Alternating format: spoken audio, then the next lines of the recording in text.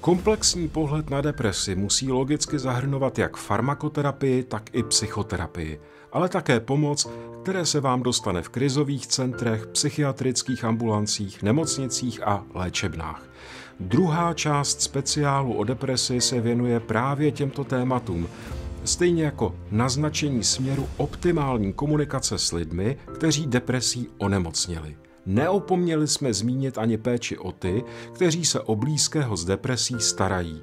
A konečně, některá z témat jsou do větší hloubky rozvedena v dalších dílech života za zdí a také v podcastu Hovory o duši. Týká se to zejména antidepresív, anxiolytik, elektrokonvulzí, psychoterapie a hospitalizace na psychiatrii.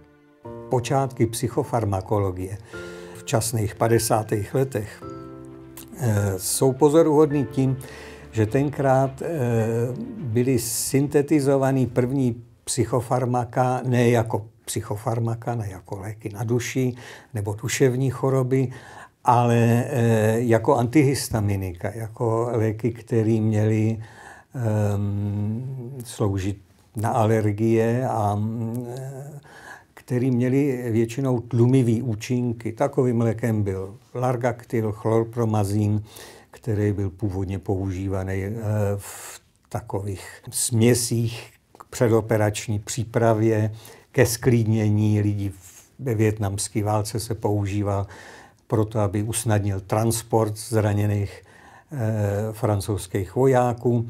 A teprve z toho se odvíjelo nejprve jeho použití ke sklidnění neklidných pacientů s psychózou a e, potom k léčbě schizofrenního onemocnění nebo psychózy, protože se ukázalo, že i ty ostatní příznaky na to reagují zmírněním nebo odezněním.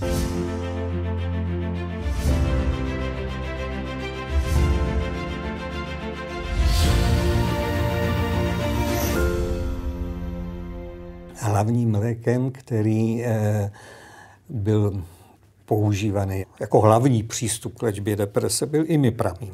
U toho imipramínu ten začátek v roce 1950 eh, byl stejný. Imipramín byl syntetizovan jako potenciální eh, antihistaminikum.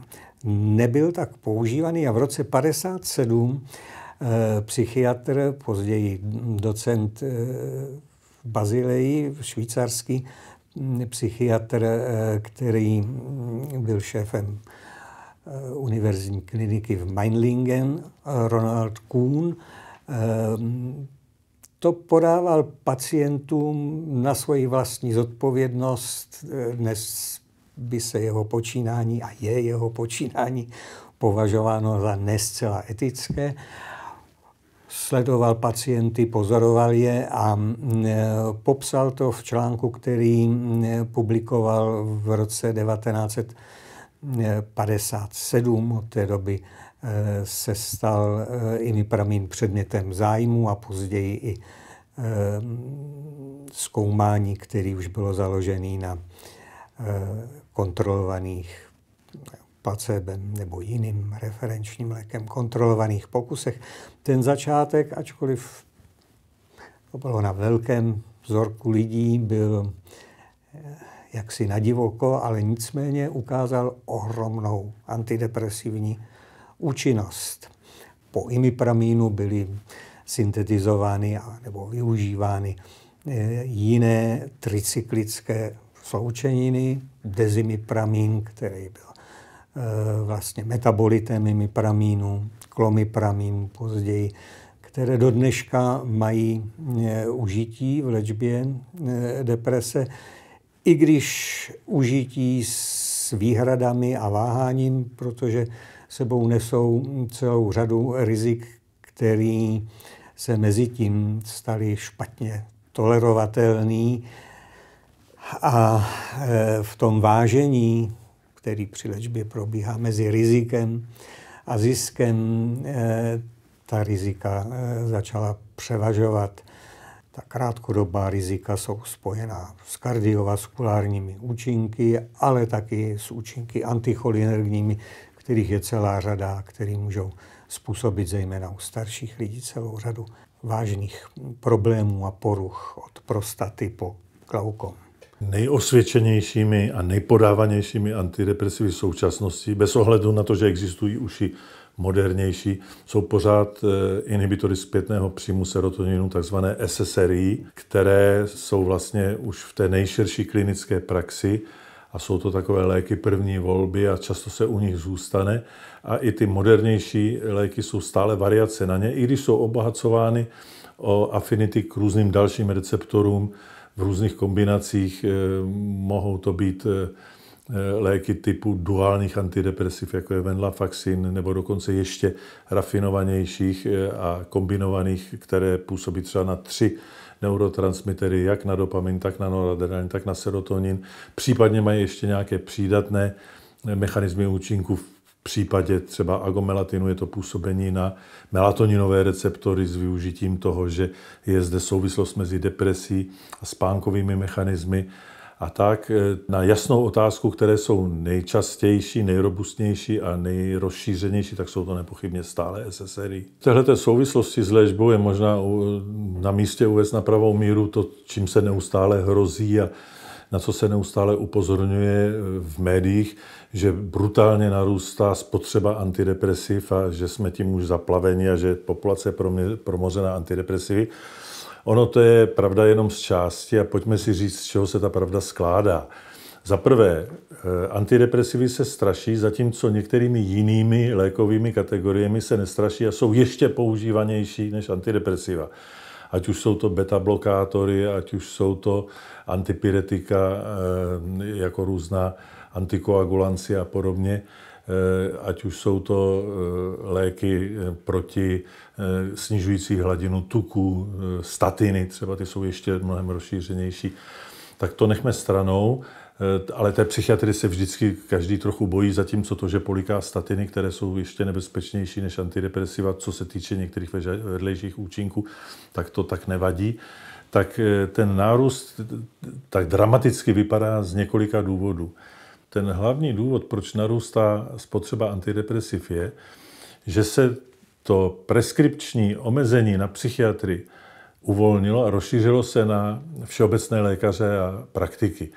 Dokud eh, může psát eh, antidepresiva, předepisovat jenom 1000, 1200 lékařů v republice, což je počet psychiatrů, tak to je něco úplně jiného, než když jich to může najednou předepisovat 35 tisíc. Tak to je jeden skok. Druhý skok je, že se ukázalo časem, že daleko rafinovanější a moudřejší léčba mnoha typů nespavostí, neorganických nespavostí, Eh, je, eh, spočívá v podávání antidepresiv a nikoli v hypnotik. Takže antidepresiva, eh, zejména některá typu trazodonu, typu mirtazapinu, začala nahrazovat hypnotika, která přece jenom mají určitý návykový potenciál a když ne, tak mají takové ty nevýhody, že večer usnete, ale když se probudíte ve tři ráno, tak si brát další předtím, než jdete do práce, už nemá smysl. Zatímco ta antidepresiva spíš eh, desenzibilizují vaše okruhy tak, že vám umožňují navodit váš přirozený spánek a nejsou hypnotizující v tom pravém slova smyslu, ale jsou facilitující k navození vašeho spánku, který je přirozenější, zdravější, hodnotnější v mnoha případech a nejsou návyková, ale vyžadují takovou tu soustavnou léčbu, která je s desenzibilizací vždycky spojena, podobně jako antidep. To znamená, užíváte to každý den jako do houslí, ale za to hezky spíte. Takže se ukázalo, že, a potvrdí vám to mnohé spánkové laboratoře zaměřené na psychiatrii, že s velkou výhodou přešli z hypnotik na antidepresiva. Některá. A když uvážíte, že nespavosti tady trpí kde kdo, každý třetí e, trpí nějakým typem nespavosti, tak si můžete hned uvědomit, že i když jenom část z nich se dostane do této, k této léčbě, takže to znamená další dramatický nárůst spotřeby antidepresiv, protože najednou se otevře další rozsáhlá indikační skupina. Či už nejenom na depresi, ale i na nespavost. No a třetí, nesmírně významný důvod nárůst užívání antidepresiv je to, že se rozšířila indikace na úzkostné poruchy. Dneska se úzkostné poruchy neléčí léky klasicky označovanými jako anxiolytika, to znamená benzodiazepiny, které jsou dobré k první pomoci, k přechodu nějakého akutního období, před nasazením nějaké psychoterapie nebo zvládnutí určitých krizí, ano, ale k soustavné dlouhodobé léčbě se dneska úzkosti používají téměř výhradně antidepresiva. A protože úzkost je ještě víc eh, v populaci než depresivních poruch, zejména když je všechny sečtem ty úzkostné poruchy, ať už mám generalizovanou úzkost, sociální fobii, eh, patří sem i obsedantně kompulzivní porucha, posttraumatická stresová porucha, co jich je, tak eh, představují daleko větší nárůst té spotřeby, protože to je obrovská indikační skupina, o kterou se užívání antidepresiv rozrostlo. A tyhle ty tři faktory, to znamená rozšíření preskripce, rozšíření indikace na nespavost a rozšíření indikace na úzkosti způsobili to, že když se podíváte na spotřebu antidepresiv, tak se zdá, že dramaticky narostla, ale je třeba si to rozklíčovat a zeptat se, jestli je to k něčemu, jestli je to jenom negativní jev, to, že tak narůstá ta spotřeba, že populace choulostiví, že jsme stále rozmazlenější, že své náročné situace potřebujeme zvládat prášky, zatímco dřív ty jedinci byli otužilí a tak to je tendence to takhle nahlížet. Ano, můžeme se na to tak dívat, ale na druhou stranu bych uvedl jeden jediný protipříklad, který dávám jenom k zamyšlení, že když se po Evropě podíváte na výskyt sebevražd, tak v posledních desetiletích až na naprosté výjimky a drobné výkyvy dlouhodobě počet sebevražd klesá. E, téměř ve všech zemích Evropy s několika málo výjimkami. A když se podíváte na to, čím to je, což je práce, kterou si dal náš eh, kolega Zoltán Rimer v Maďarsku, psychiatr, a Maďarsko je k tomu zemí povolanou, protože má vysokou sebevražednost, tak zjistíte, že v těch zemích, kde nejvíce poklesl počet sebevražd, nejvíc stoupla spotřeba antidepresiv, zároveň ve stejné době. Respektive změnil se poměr preskripce antidepresiv ku benzodiazepinům. Ubývalo benzodiazepinům a přibývalo antidepresiv. Může se zdát, že to je jenom náhodná korelace, že to spolu kauzálně nesouvisí, že to nikdo nedokázal, že jsou to ty samý pacienti. To ano. Ale Zoltán Rimer si dal tu práci, že se podíval na významné rizikové faktory deprese, jako je rozvodovost, fenomény sociálně, které z depresí jsou rozvodovost se sebevražedností. Spotřeba, čistá spotřeba alkoholu na hlavu, eh, ekonomická situace, čili hrubý domácí produkt HDP eh, a eh, to je tak všechno. A podíval se v Maďarsku na spotřebu alkoholu, kterou si nahradil takovým proxy indikátorem, to je s výskytem cirhózy jater, což je dost objektivní ukazatel toho, jak ten národ pije. Eh, podíval se na rozvodovost, podíval se na nezaměstnanost, která souvisela se sebevražedností vždycky. A podíval se na to období, kdy klesala sebevražednost. A v tom období Cirhoz jater přibývalo, eh, nezaměstnanost narůstala, za komunismu byla téměř nulová a od revoluce narůstala, eh, rozvodovost narůstala, čili všechny ty negativní faktory, které podporují depresi, narůstaly a sebevražednost klesala. A jediný faktor, s kterým to souviselo, byl právě poměr spotřeby antidepresiv a anxiolytik, protože jinak se to nedá vysvětlit. Protože ta jiná rizika, by svědčila, protože by mělo sebevražednosti narůst a ono kleslo. Někdy e, jsme překvapeni tím, e, jaké, jaké sloučeniny se objeví jako antidepresiva v posledním dekádě. E, prodělal kariéru antidepresiva, dejme tomu, agomelatin, valdoxan, což je agonista melatoninových receptorů nějakým způsobem upravuje vnitřní nebo synchronizuje, upravuje eh, reakce mozku na střídání světla a tmy. Narušený denní rytmus vrací do normální podoby, ale mm, eh, ukázalo se, že je silně hepatotoxický. A to u lidí, kteří se často napijou alkoholu, aby zahnali úzkost, u lidí, kteří dneska jsou vystaveni polyfarmací a berou celou řadu léků, není vlastnost, která by, kterou bychom mohli tolerovat. Ta polyfarmacie zase je taky vývoj, to, že člověk bere řadu léků na celou řadu chorob, zejména léku, který nějakým způsobem ovlivňují pozitivně kardiovaskulární eh, systém, méně se umírá na infarkty, hyperten, komplikace hypertenze a tak dále. Ty, ty všechny mají nějaké interakce, mnoho známe, některý neúplně známe. A ten vývoj jde dál a objevují se vlastně nový a nový rizika. Není lék, který by neznamenal kompromis. Něco získám, ale zároveň se vystavím určitému riziku. To riziko a zisk je e, prakticky u všech farma, farmaceutických mm, výrobků, farmakologických léčebných postupů je součástí toho, eh, co musí řešit nejen lékař, ale i pacient a čemu by měl věnovat pozornost hned na začátku. U deprese spojené s úzkostmi to platí především o benzodiazepinech, mezi které patří léky jako diazepam, lexaurin, xanax, rivotril nebo neurol. Benzodiazepiny objevil v roce 1956 rakouský vědec Leo Sternbach – který v té době pracoval pro švýcarský farmaceutický koncern Hoffmann La Roche. Odborná veřejnost nejprve považovala benzodiazepiny za bezpečnou náhradu barbiturátů, ale později se začaly objevovat méně optimistická zjištění, spojená zejména s vysokým potenciálem rozvoje závislostí. V současné době jsou benzodiazepiny jedny z nejčastěji užívaných, ale také zneužívaných psychofarmak. Benzodiazepíny eh, jsou, jako všechny ostatní léky, eh, mají dvě strany. Jsou eh, problematické a současně přinášejí, přinášejí úlevu. Benzodiazepíny na té psychologické rovině dělají to, že okamžitě sklidní úzkost a sklidní tím, že sníží vlastně úroveň bělosti a vigilitu. To znamená, trošku slumí člověka a sníží napětí a sníží úzkost. Žádné anxiolytikum nesnižuje úzkost, ani žádný benzodiazepín nesnižuje úzkost, aniž by minimálně aspoň trošku jako, jak, jak, jako netlumilo.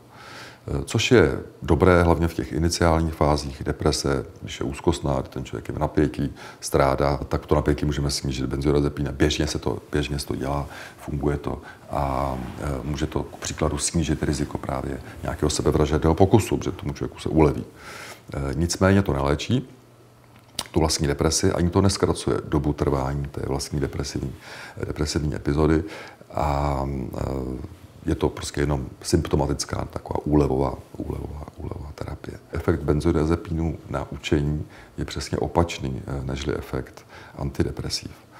Benzodiazepíny zhoršují učení, e, tlumí vlastně ten proces e, synaptogeneze, proces tvorby nových, nových synapsí, naopak urychluje vlastně jejich, jejich zánik nebo odumírání těch, eh, těch synapsí, to znamená benzodiazepiny zhoršují paměť eh, a v tomto případě vlastně do značné míry antagonizují efekt i těch, i těch antidepresí. Jdou prostě proti ním na úrovni eh, těch, těch synapsí. Proto se snažíme z benzodiazepíny šetřit, když je používáme tak jenom pro to zvládnutí toho akutního stresu, toho akutního utrpení a pak rychle je snižujeme a čekáme vlastně na efekt těch vlastních antidepresív.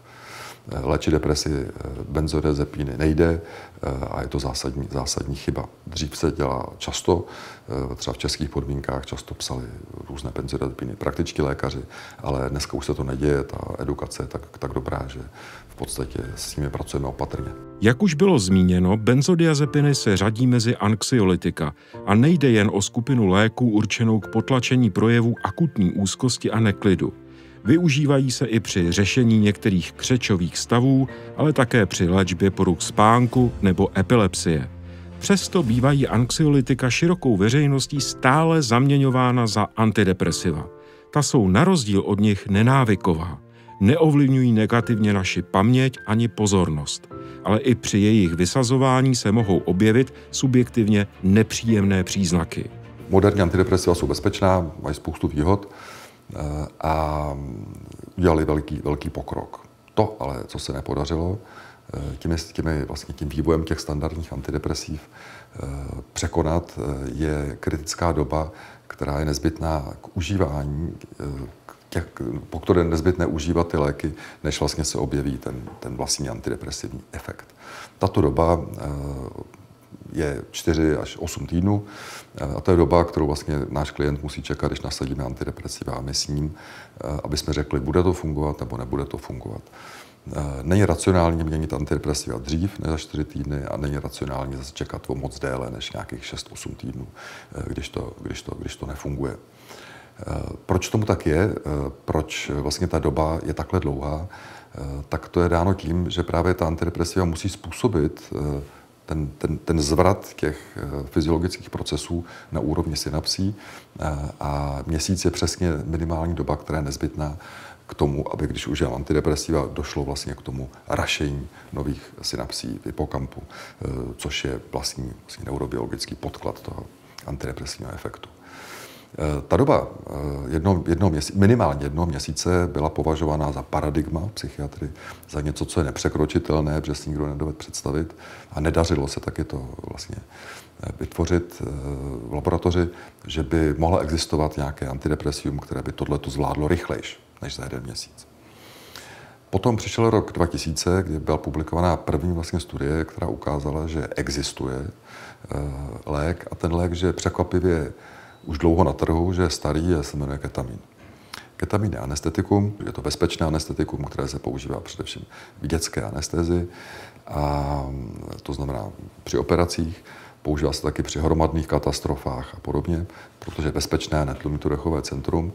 A jako novej, vlastně nová vlastnost tohoto, této látky se zjistilo, že ona působí antidepresivně a to okamžitě. Eh, jinými slovy, při depresivní pacient dostane nízkou dávku ketamínu eh, a řádově během hodin ta deprese může odezít, nikoli v řádově během týdnů, což je to neuvěřitelné. Neskoušíme i mechanismus, proč tomu tak je. No, je to tím, eh, že ketamin vlastně způsobuje stejné neuroplastické změny, stejné synaptické změny jako klasická standardní antidepresiva, ale mechanismem, který vlastně indukuje růst těch, těch synapsí mnohem, mnohem rychleji. To znamená, eh, ten antidepresiva a ketamin se stýkají v tom mechanismu účinku, ale liší se vlastně v rychlosti navození těch, těch synaptických změn. To znamená, ketaminem eh, léčená deprese, když to funguje, pozor, důrazně, když to funguje, eh, tak nastupuje okamžitě ten efekt. Proč tím neléčíme každého? Se nabízí otázka. No, protože za prvé to má také svoje vedlejší účinky. Eh, ten ketamin vede to k takovému zvláštnímu stavu disociace eh, mysli, který nemusí být příjemný každému. Současně ten efekt antidepresivní netrvá úplně dlouho, bohužel. Ten antidepresivní efekt trvá asi jeden týden. A co potom? Dneska těch strategií je několik, co s tím udělat a neskoušáme na trhu přímo nové antidepresivum, jedno, které vlastně De facto se jedná o esketamin, eh, které se užívá dvakrát týdně ve vel, velmi nízké dávce nazálně, eh, právě proto, aby se udržel ten, ten, ten, klinický, ten klinický efekt. Eh, ketaminem léčená deprese, jak říkám, nefunguje to u každého, týká se to asi 50, spíš 70% pacientů, to znamená kolem 70% pacientů jsou respondéři, to znamená odpoví na léčbu ketamínem tak, že druhý den nebo ještě ten týden eh, jsou de facto, de facto bez deprese. Otázka je, jak to udržet. Ketamín navozuje takový jako zvláštní disociativní nebo někdo říká psychedelický, psychedelický stav změněného fungování mysli, který trošku připomíná nejrůznější halucinogény, jako je třeba LSD nebo, nebo psilocybin, prožitkově. Ta dávka ketaminu jsme řekli, že je nízká. Kdyby byla vysoká, tak to nenavozuje tyto stavy a udělá to celkovou anestézi. Pacient by spal. Pro léčbu deprese je ta dávka, je ta dávka nižší. Ta dávka je eh, tak vysoká, že nenavozuje celkovou anestézi, ztrátu vědomí, ale navozuje tyto vlastně disociativní, disociativní stavy. Obecně se předpokládá, že v terapii deprese, v té biologické terapii deprese pomocí, pomocí ketamínu, eh, ty vlastní prožitky nehrají až tak důležitou roli, ale že se jedná o věc prostě biologickou, biochemickou. Rostou tam synapse eh, a, a, a podobně. Eh, to znamená, věč, většina pracovišť na světě, když se léčí deprese pomocí ketamínu, tak příliš se nestarají o to vlastně, v jakém prostředí ten člověk je a ten, a ten personál se příliš nestará vlastně o ten subjektivní, subjektivní prožitek. Eh, my si myslíme, že ten subjektivní prožitek je také důležitý, že je složkou eh, té, eh, té léčby, tak třeba u nás v ústavu se snažíme o to, aby těm lidem bylo příjemně, aby na to byli připraveni a aby si z toho případně také odnesli nějaký vlastně psychologický vhled do svého života a, a, a podobně.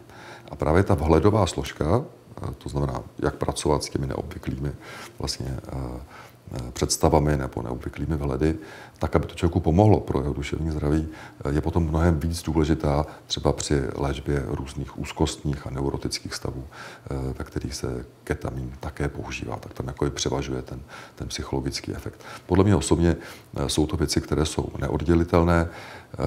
To znamená neuroplastické změny, když jsou v mozku, tak je v podstatě doprovází tento psychedelický, psychedelický stav. Já si myslím, že to je jedno a to tež.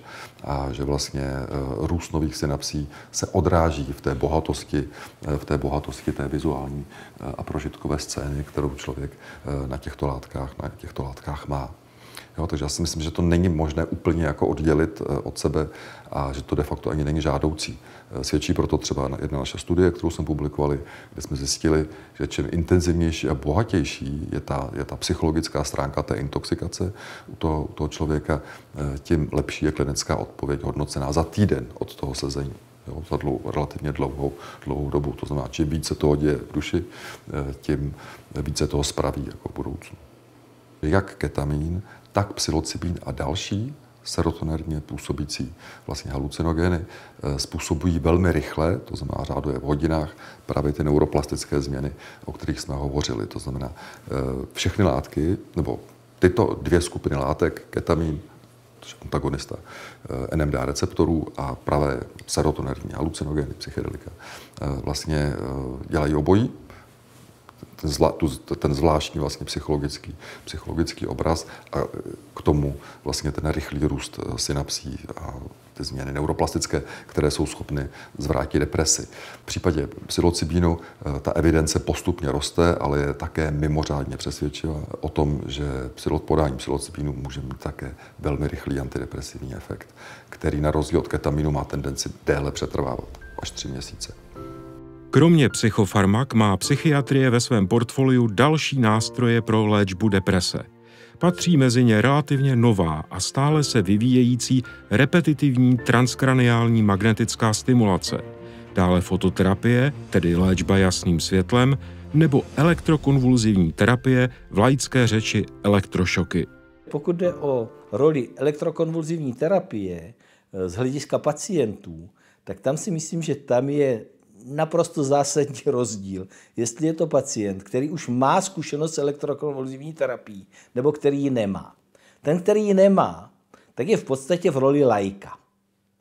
A bohužel, co si budeme povídat, lajci stále mají vůči elektrokonvulzivní terapii spíše e, záporný vztah. Opravdu se k ní sahá až v okamžiku, kdy ten pacient je na tom tak špatně, léky nezabírají, on je těžce depresivní, případně potom třeba ani nejí, nepí a tak dále. Že se to opravdu používá jako taková metoda, když všechno ostatní selže, tak se zkusí elektrokonvulzivní terapie. Myslím si, že je to trochu škoda, protože si myslím, že kdyby se s tím začínalo dřív, takže by ti pacienti méně trpěli. Protože, prosím vás, to je pořád nejúčinnější metoda léčby deprese, kterou lidstvo vymyslelo. Ta je účinnější než všechny léky, než všechny psychoterapie. Jo. Samozřejmě, že teda u lehkých depresí je nesmysl, to je jako jít s, s, s kanonem na vrabce, ale už prostě u těch středně těžkých a těžkých depresí, u těch velmi těžkých, tam, už tam, tam je to jasný, vlastně opravdu ta elektrokonvulzivní terapie může pomoci.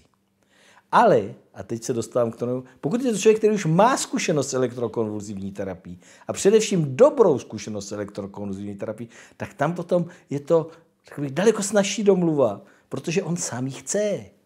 Já si vzpomínám na jednoho pacienta, který prostě, eh, když na něho přišla deprese, a už opravdu to nezvládal v domácím prostředí a říkal, pane doktore, já tady nechci být zase tři měsíce, prostě naplánujte mi na příští týden elektrokonvulzivní terapii, eh, já si prostě projdu těch svých pět šoků a můžu jít domů.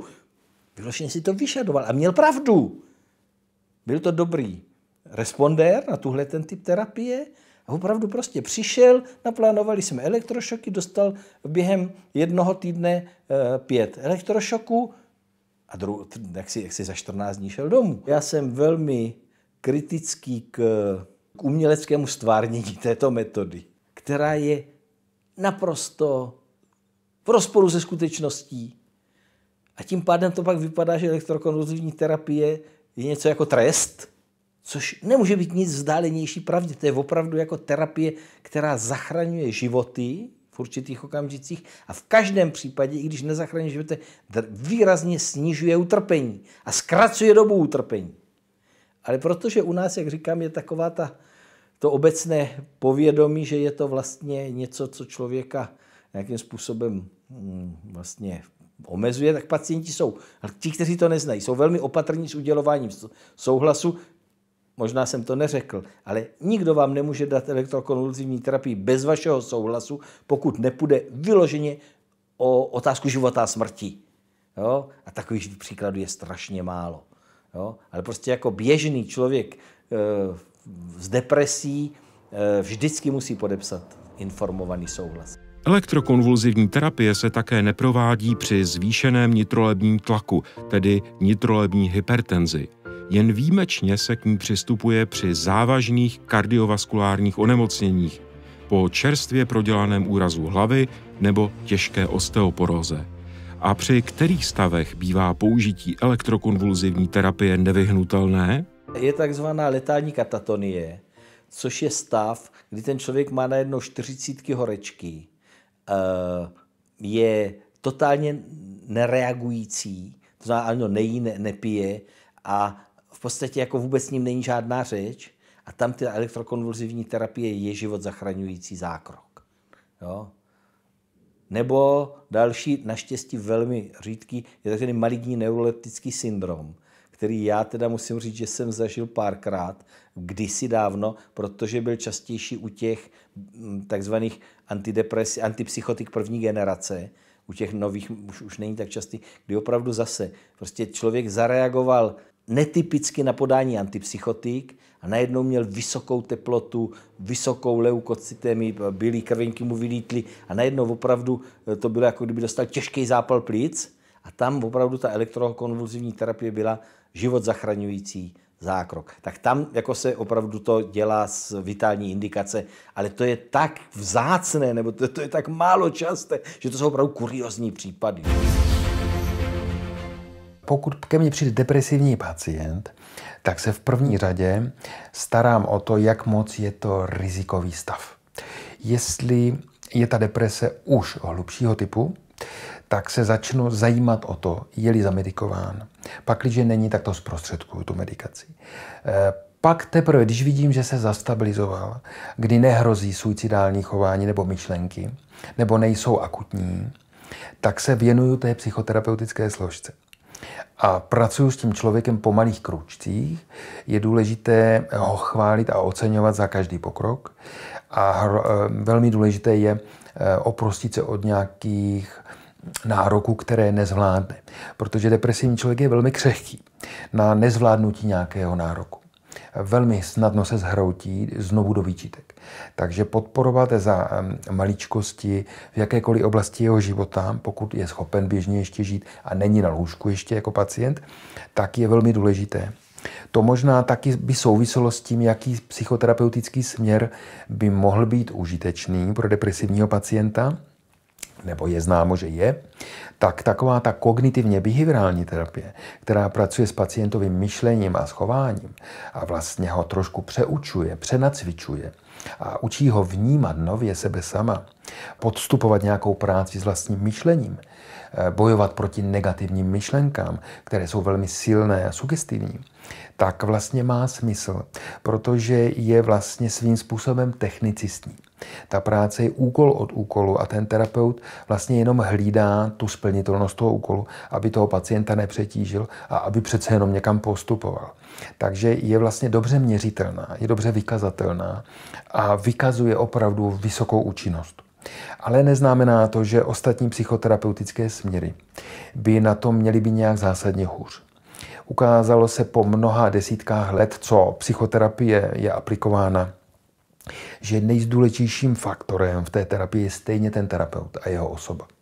Čili pak, když ten depresivní pacient se začne vztahovat dobře a kladně k té osobě toho terapeuta, má v něho důvěru, jde k němu s nadějí a ten terapeut mu ji poskytne, ještě ho ocení, dají si třeba i nějaký drobný úkol nebo se podívají na kontext toho, proč onemocněl depresí, tak pro něj dělá to největší blaho.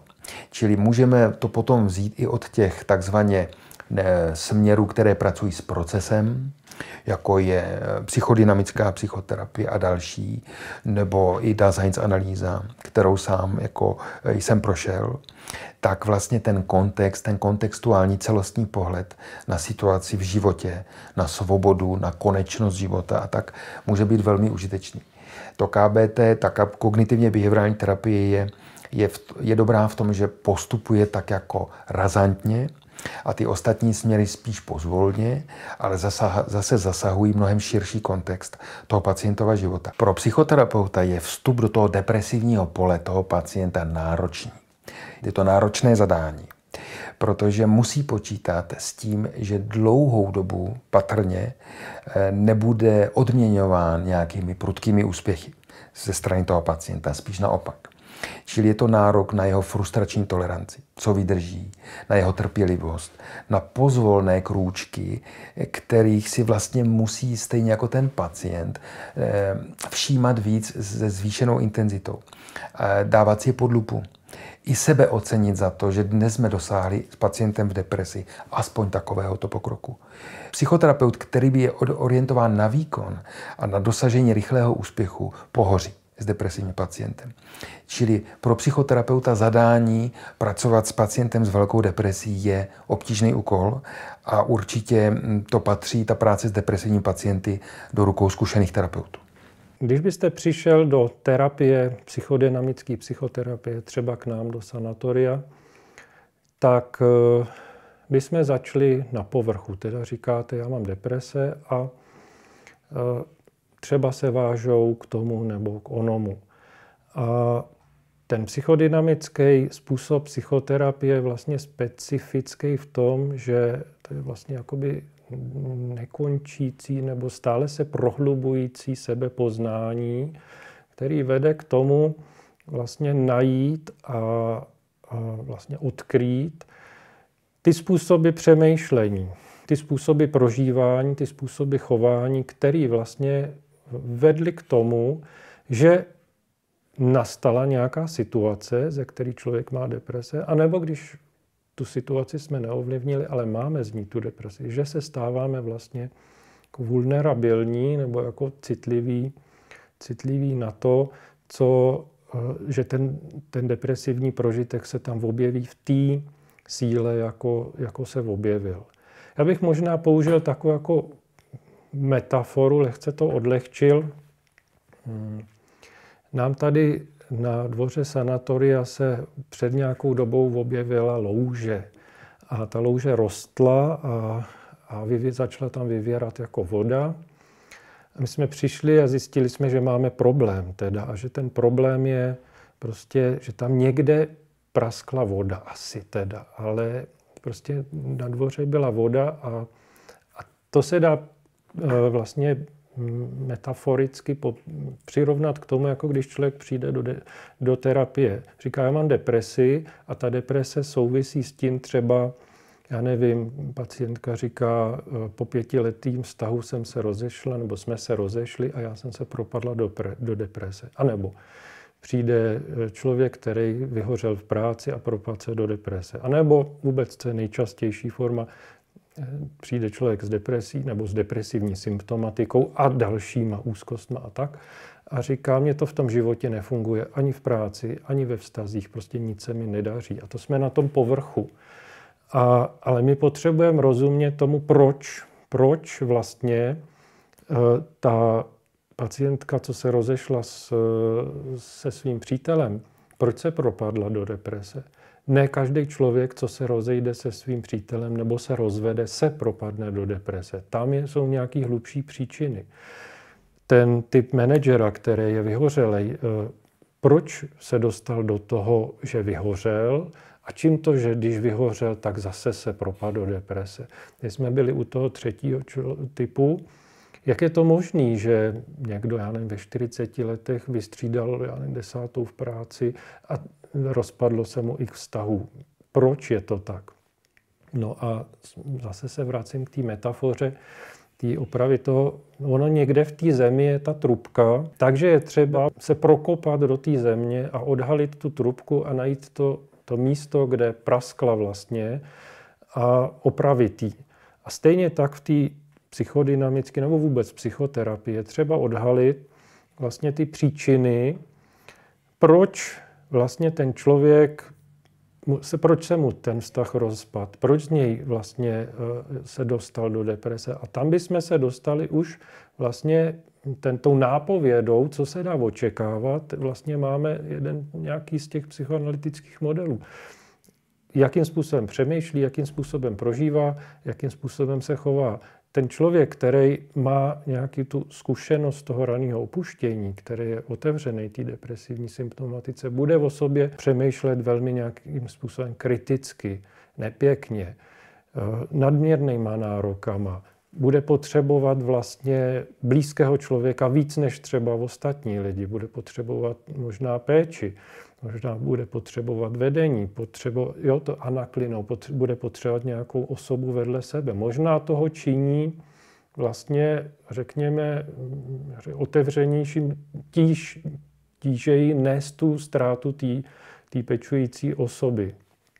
Ale my nevíme, to, tam je třeba vlastně s tím člověkem pracovat ten, a najít ten specifický vzorec, vlastně to, co si myslí o sobě co si myslí o světě, co může, co nemůže, kde je jeho místo v životě, co smí, co nesmí, co musí. Jo? Je to vlastně celý koncept sebe a ostatních, který ale většinou bývá takový, jako že to, ten člověk z toho vychází nějak špatně. Jo? Je to ten, prostě ta agrese obrácená proti sobě, narušená sebeúcta, potřeba nějaký podpory, která třeba v tu chvíli není po ruce, a, ale když my se dostaneme do té hloubky, najdeme tu eh, trubku jaksi, tak a zjistíme vlastně ty, ty mm, představy a řekněme agresivní impulzy obrácený vůči sobě, tak je možný pak nějakým způsobem je spochybnit, pracovat s nima. Pochopení nestačí, ale je to první krok a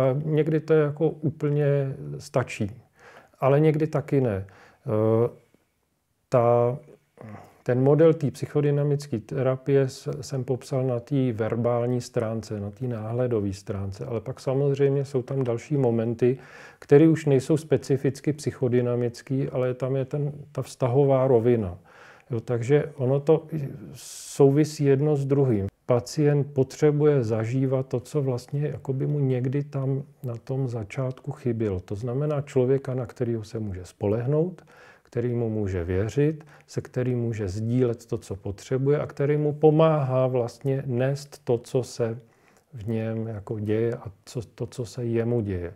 To je vlastně, bych řekl, takový jako podhoubí a, a základ, na kterým je možný stavět a na kterým je možný pak propracovávat ty, ty představy, koncepty. Takže ta ten psychodynamický model, ale myslím, že tady už se jako ty různé typy terapie vlastně shodují, jdou z té strany toho vztahu, s tím, že člověk si zažívá z hodiny na hodinu eh, a vlastně si introjikuje terapeuta jako vlastně bezpečnou osobu a vlastně jakoby jako by si zase zvnitřňoval toho bezpečného svého člověka, který tam třeba kdysi nebyl, tak to je ta jedna stránka. A druhá stránka je ta, řekněme, kognitivní nebo náhledová, kdy se pr- pracuje s tím náhledem, ale ono se to zase nedá úplně jako rozdělit, protože když, když eh, pacient a terapeut spolupracují přes eh, volné asociace a interpretace,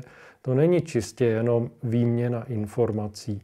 To je výměna emocí, to je výměna vztahu vlastně, vztahový výměny. Když ten jeden člověk povídá a ten druhý člověk ho poslouchá, jeden člověk si stěžuje, druhý člověk ho podporuje, tak je to vlastně o péči.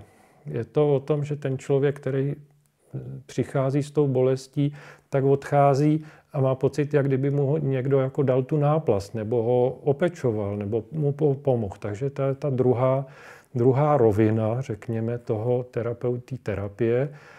Ale pak eh, je tam jako zase další a další a další jako důležitý, řekněme, aspekty a z nich bych třeba eh, jako jmenoval tu práci s tou agresí. Takže je hrozně důležitý v terapii psychodynamický, předpokládám, že i v ostatních směrech, když ten člověk v terapii zjistí, že může svobodně, volně se taky rozlobit na toho terapeuta, říct mu něco nepříjemného, s něčím ne, nesouhlasit, prostě být agresivní, ne, nemyslím jako roštípat nábytek, ale, ale prostě vyjádřit, vyjádřit nějakým způsobem tu svoji zlost a ten terapeut to unose. On mu ji nevrátí. Najednou jako by se ta, ta bazální psychodynamika té eh, introjikované a projikované agrese, která se obratí proti člověku, tak se ruší. Najednou člověk zjišťuje, že může tomu druhému tu agresi poslat vlastně a tím se vlastně jako ta, ta bazální uh, psychodynamika agrese jakoby čistí nebo, nebo ubejvá.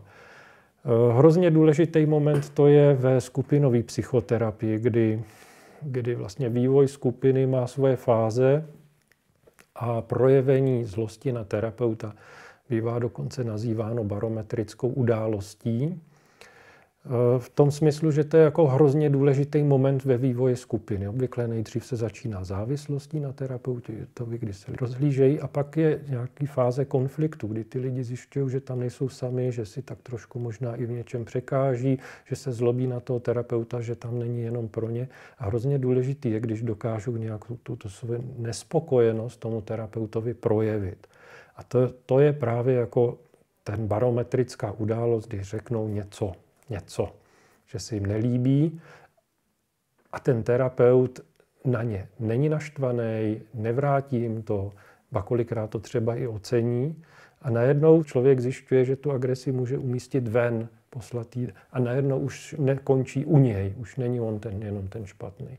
Takže to je další aspekt terapie deprese. Poznávání náhled už je vlastně změnou a ten náhled vlastně je momentem, který inspiruje a vlastně je pobítkou ke změně. Když já zjistím, že něco nějak jako dělám, v tom je vlastně už jako obsaženo, aha, a ono to jde taky nějak jako jinak. To znamená, když eh, mě někdo, uvedu příklad, řekne, já nevím, když ty se tak podceňuješ, tak se ne, nediv, že tě v té práci třeba tak jako neberou vážně, tak najednou ten pacient říká, aha, tak já se podceňuji tak vlastně já se nemusím podceňovat. Jo, nebo když někomu někdo tady ze skupiny řekne, hele, proč ty tak jako pro, pořád připravuješ ty eh, křesla na ranní komunitu, proč ty myslíš na ty ostatní a nemyslíš trochu taky na sebe.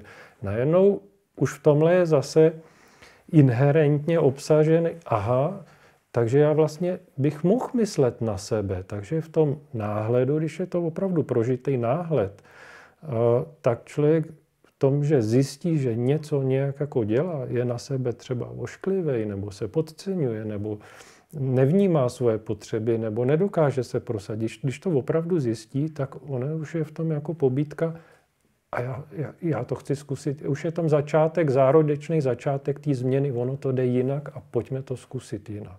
Všichni se chtějí měnit, všichni si přicházejí pro změnu, ale každý z nás má nějakou jako kapacitu.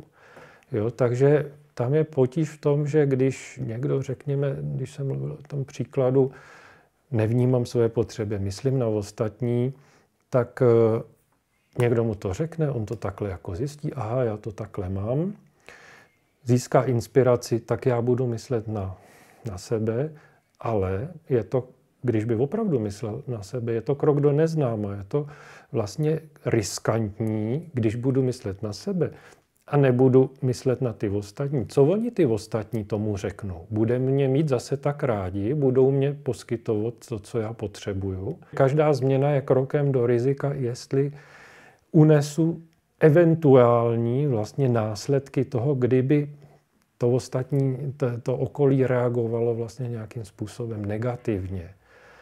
ale nic není zadarmo a, a většina lidí ten krok do toho neznáma, do toho, do té změny udělá, protože si uvědomují, že ten jejich model, tak jak to vlastně mají, jim nepřináší v tom celkovém součtu vlastně pohodu v životě.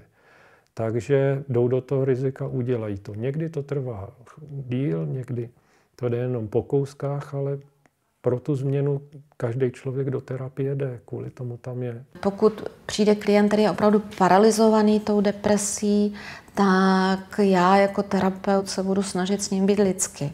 Budu se snažit ho naslouchat, být s ním a asi se vyhnu nějakým, nějakým radám nebo nějakým analýzám, co by měl udělat a co by bylo dobrý, ale v tom, v tom počátku jenom akceptovat to, že je, mu, že je mu hodně špatně a že je, že je někde hodně hluboko a um, budu mít odvahu s ním se stoupit do té hloubky.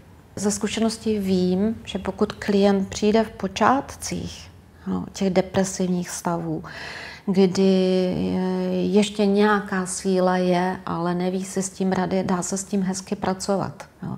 Myslím si, že je fakt velmi důležité u nastoupení deprese opečovat tu depresi terapeuticky a nenechat ji, jak říkáme, rozjet do dlouhodobějšího, trvalého, trvalého stavu.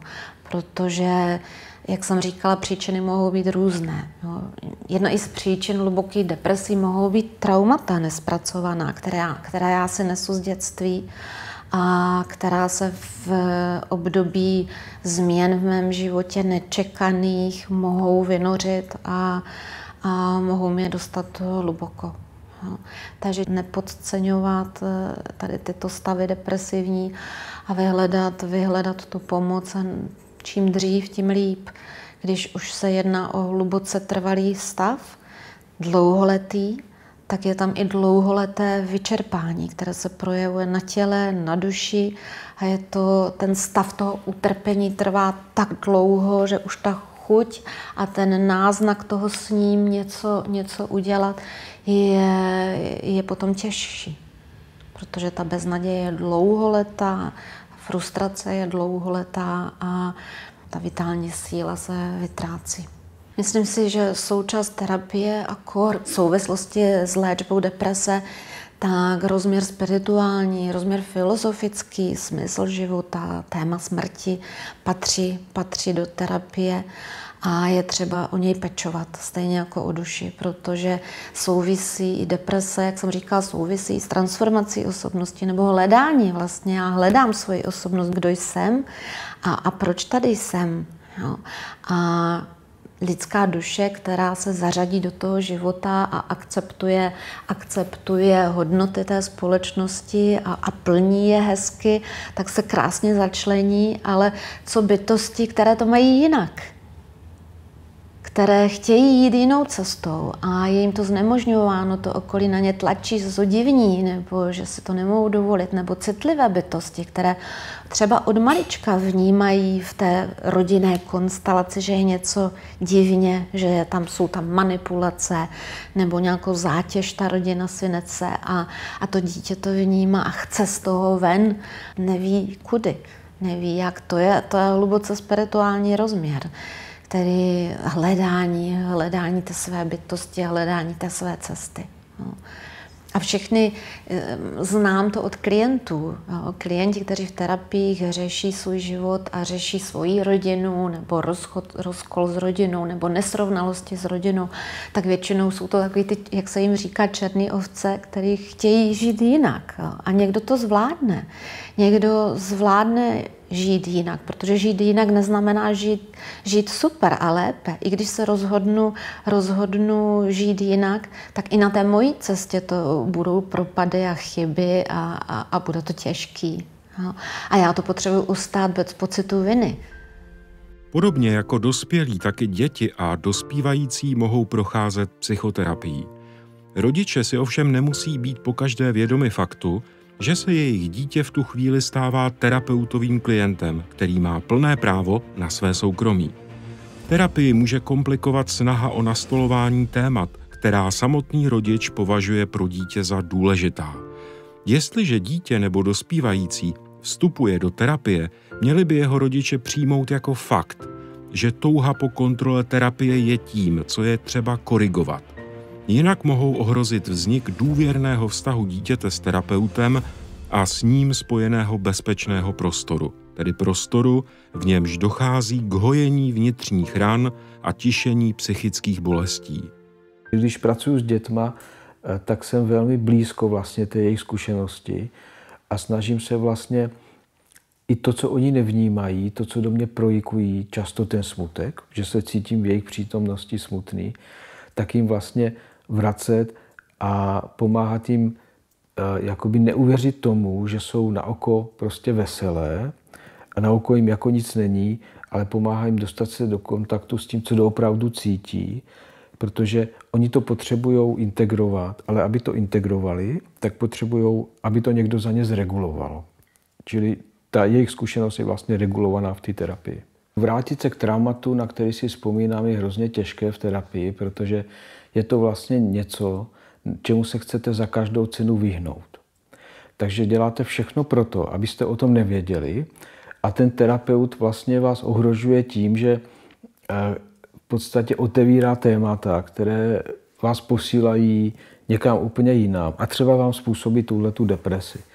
Takže je to jako těžká práce, která ale musí být o to víc jako opatrná a citlivá. A proto je nebezpečné při práci s traumatizovanými dětmi, které jsou depresivní často, jakoby je nutit k tomu, aby o něčem mluvili, o čem nechtějí mluvit, ale je důležité jim vytvořit prostě prostředí, čili vztah, ve kterém je mohou ty věci spontánně napadnout. A ne jakoby jejich zkušenost, ale jako zkušenost někoho jiného, to znamená nějakého panáčka, nějakého zvířátka ve hře. Jo? A tam my můžeme říct, že tady to zvířátko je smutné, protože ztratilo svoji maminku třeba. Jo? Nebo protože ho maminka nemá ráda, protože ho dala prostě jiným lidem. A tím, že já vlastně interpretuju zkušenost jakoby někoho jiného, tak ty děti ale zažívají ty emoce přes to zvířátko a nemusí se tomu bránit, protože si, si myslí, že se to děje vlastně někomu jinému, ale ty emoce jsou vlastně jejich. Takže ta jejich zkušenost je vlastně takhle symbolicky regulovaná, bezpečnou formou a nemusí vlastně uh, jakoby tu svoji osobnost takhle štěpit a, a vystavovat se tomu, že, že budou mít tu disociativní poruchu třeba. To léčivou silou psychoterapii je pro mě vždycky vztah. To znamená, že od začátku, když to dítě přijde, tak se s ním snažím navázat prostě kontakt. To znamená, že se mu dívám do očí, uspívám se na něj a snažím se vlastně opravdu být tím, kým jsem. To znamená někdo, kdo má živý zájem o to, co zažívá, co si myslí, co ho napadá. A vůbec mě nezajímají nějaké diagnózy nebo, dopor, nebo zprávy od rodičů. Prostě mě zajímá, co to dítě vlastně v tu chvíli jako zažívá. A to je pro to dítě velmi bezpečný zážitek v podstatě. Často mi kolegové, těžší terapeuti, tak pracují jakoby v hernách, ale já si nemyslím, že to je dobře, protože já tady hračky mám, mám tady všechno k dispozici, co to dítě může stimulovat k tomu, aby se dostalo do kontaktu se svými fantaziemi ale nejdřív se musí dostat do kontaktu se mnou. Jo? Čili nemůže to být tak, že dítě přijde a začne si v koutě někde hrát jo? a já si budu něco zapisovat. Jo? To musí být tak, ahoj, jak se máš, bydlíš tady, co tvůj pes a prostě začneme se seznamovat a bude to prostě nějaký vztah. A až potom, co to dítě se cítí bezpečně, tak může být v kontaktu s tím, co si myslí, co zažívá, co ho napadá. Jo? Čili ten vztah, řekl bych, je, je základ. Můžeme se domnívat, že by to dítě mě mohlo v té terapii brát jako kamaráda jenom, ale to nestačí, protože kamarád uh, za něho není zodpovědný a kamarád mu nenabízí prostě ochranu uh, a nebude určitě ochoten sdílet s ním ty nejhorší věci, co zažívá. Takže ten kamarádský, přátelský vztah je samozřejmě důležitý, ale důležité je i to, že já jsem dospělý, který je tady od toho, aby vzalo na sebe ty jeho problémy, aby mu s tím pomohlo a aby ho před nima i chránilo. Často mi to říkají lidi, s kterými si povídám o té terapii, ty, ty tady bereš peníze za to, že si vlastně hraješ s těma dětma. To by mohlo hrát klidně prostě někde eh, na pískovišti. Ale není to tak, protože eh, já s těma dětma si hraju jakoby eh, z pohledu toho jejich prožívání a sleduju, co si u toho myslí, co u toho zažívají. A zároveň je chráním před tím, aby to neho nebylo moc. Jo? Protože dostat dítě eh, do, do nějakého eh, velkého vypětí emočního, emočního nějakého extrému, kdy vlastně se najednou zahltí těmi, těmi úzkostmi, tak, tak není vůbec těžké. Jo? To dokáže kdokoliv a pak ho pošle domů a, a to dítě je vlastně rozrušené a ještě víc úzkostné, než to bylo. Čili já jsem tady od toho, abych jako hlídal, aby zase nebylo příliš zahlcené tím, co zažívá, hraní, je spontánní, mělo by být spontánní a tam se dostáváte do určitého stavu, kdy vlastně vy dopředu nevíte, co se s tou postavičkou stane, jo? Co, co, co, jaký bude mít konec ta hra. A to já si přeju takový stav vlastně zažívat s těma dětma, ale zároveň dávám pozor na to, aby vlastně toho nebylo moc. Jo? Aby vlastně oni nešli ještě dál a nedostali panickou ataku, podobně jak, jak, by se dostal, jak se to děje třeba některým uh, klientům, v jiných terapiích, kde třeba ten terapeut vysloveně říká, tak povídej, jak se to stalo, jo? nebo poví, vzpomíná si, jak tatínek prostě tady skopal mámu, tak povídej. A to dítě dostane panickou ataku. A ta panická ataka není vůbec příjemná za A a za B ho ještě víc stresuje a traumatizuje. Měl by to být bezpečný prostor, kde se tyhle ty špatné věci dostávají na povrch tak, aby nebyly ohrožující, ale aby zároveň jsme mohli na ně myslet a nějak je zregulovat, třeba i bez toho, abychom je pojmenovali nějak. Dospívání není pokračování dětství. To je taková moje větička, je to o tom, že ten dospělec je jiný člověk, ale zároveň ještě vlastně neví, kým vlastně bude, kým se stane. A zároveň ten život už nemá jakoby automaticky daný, ale potřebuje cítit motivaci k tomu, aby žil. Jo? Což je často velmi těžké, protože žijeme v době, kdy ta budoucnost je hodně nejistá a každý straší dneska tou budoucností a zažíváme opravdu katastrofické věci přes média, které se nám dějou prostě tady za pár, pár set kilometrů eh, od našich hranic. A tam si myslím, že ta, to experimentování ze smrtí v dospívání je vlastně snaha vlastně dát tomu životu nějakou hodnotu. Jo? Tím, že já vlastně zkusím, že můžu umřít, tak zároveň zakusím i to, že chci žít. Jo? A tím dostávám chuť nějak jako žít. Jo? A, a ty dospívající si často vlastně v těch extrémech vlastně potvrzují nějaké jakoby, řekněme, motivaci toho života. Jo? A zároveň ty děti, které jsem měl v terapii, které byly, nebo které by ty dospělé, které, které přežili, řekl bych v ozokách svoji smrt, tak byly, byly třeba zneužívané sexuálně a, a, a nebo bité, týrané. A to prostě, co mi vyprávěli, co oni dělali, že jezdili prostě na metru nebo jezdili prostě 200 km rychlostí na motorkách a tak, že, že jako opravdu jednak jim nezáleželo na tom, že umřou, protože ten, oni byli sami znehodnocení jako osoby, ale jednak jakoby chtěli teda opravdu najít důvod k tomu, aby chtěli žít. Jo? Čili ten, ten zážitek toho strachu ze smrti může být to, co mě motivuje vlastně potom žít. A to já potřebuju zakusit, zažít. A to se může dít i přes ty rodiče nebo přes ty terapeuty tím, že já experimentuju třeba eh, se svým pohlavím, snažím se změnit pohlaví, snažím se eh, jakoby experimentovat s drogama, změním svoje vědomí, třeba se řežu na, na hranici vlastně jako ublížení zdraví nebo dokonce ohrožení života. A já jsem navenek v pohodě, ale ty rodiče nebo ten terapeut se o mě bojí. Jo? A to je hrozně důležité, jo? Že, ten, že ten klient je jakoby navenek v pohodě jo? A, a já si neřeknu, tak on to má asi vyřešený, ale a prostě si řeknu, tak není se o bát, ale on potřebuje, abych se bál. Jo? Oni, oni potřebují zažít, že někdo se o nich bojí, jo? že někdo, oni to sice vnímají, jako že omezují ty rodiče, že vlastně jim zaka- oni se zlobí na to, že jim zakazují jezdit na těch motorkách nebo e, prostě, já nevím, dělat různé rizikové věci.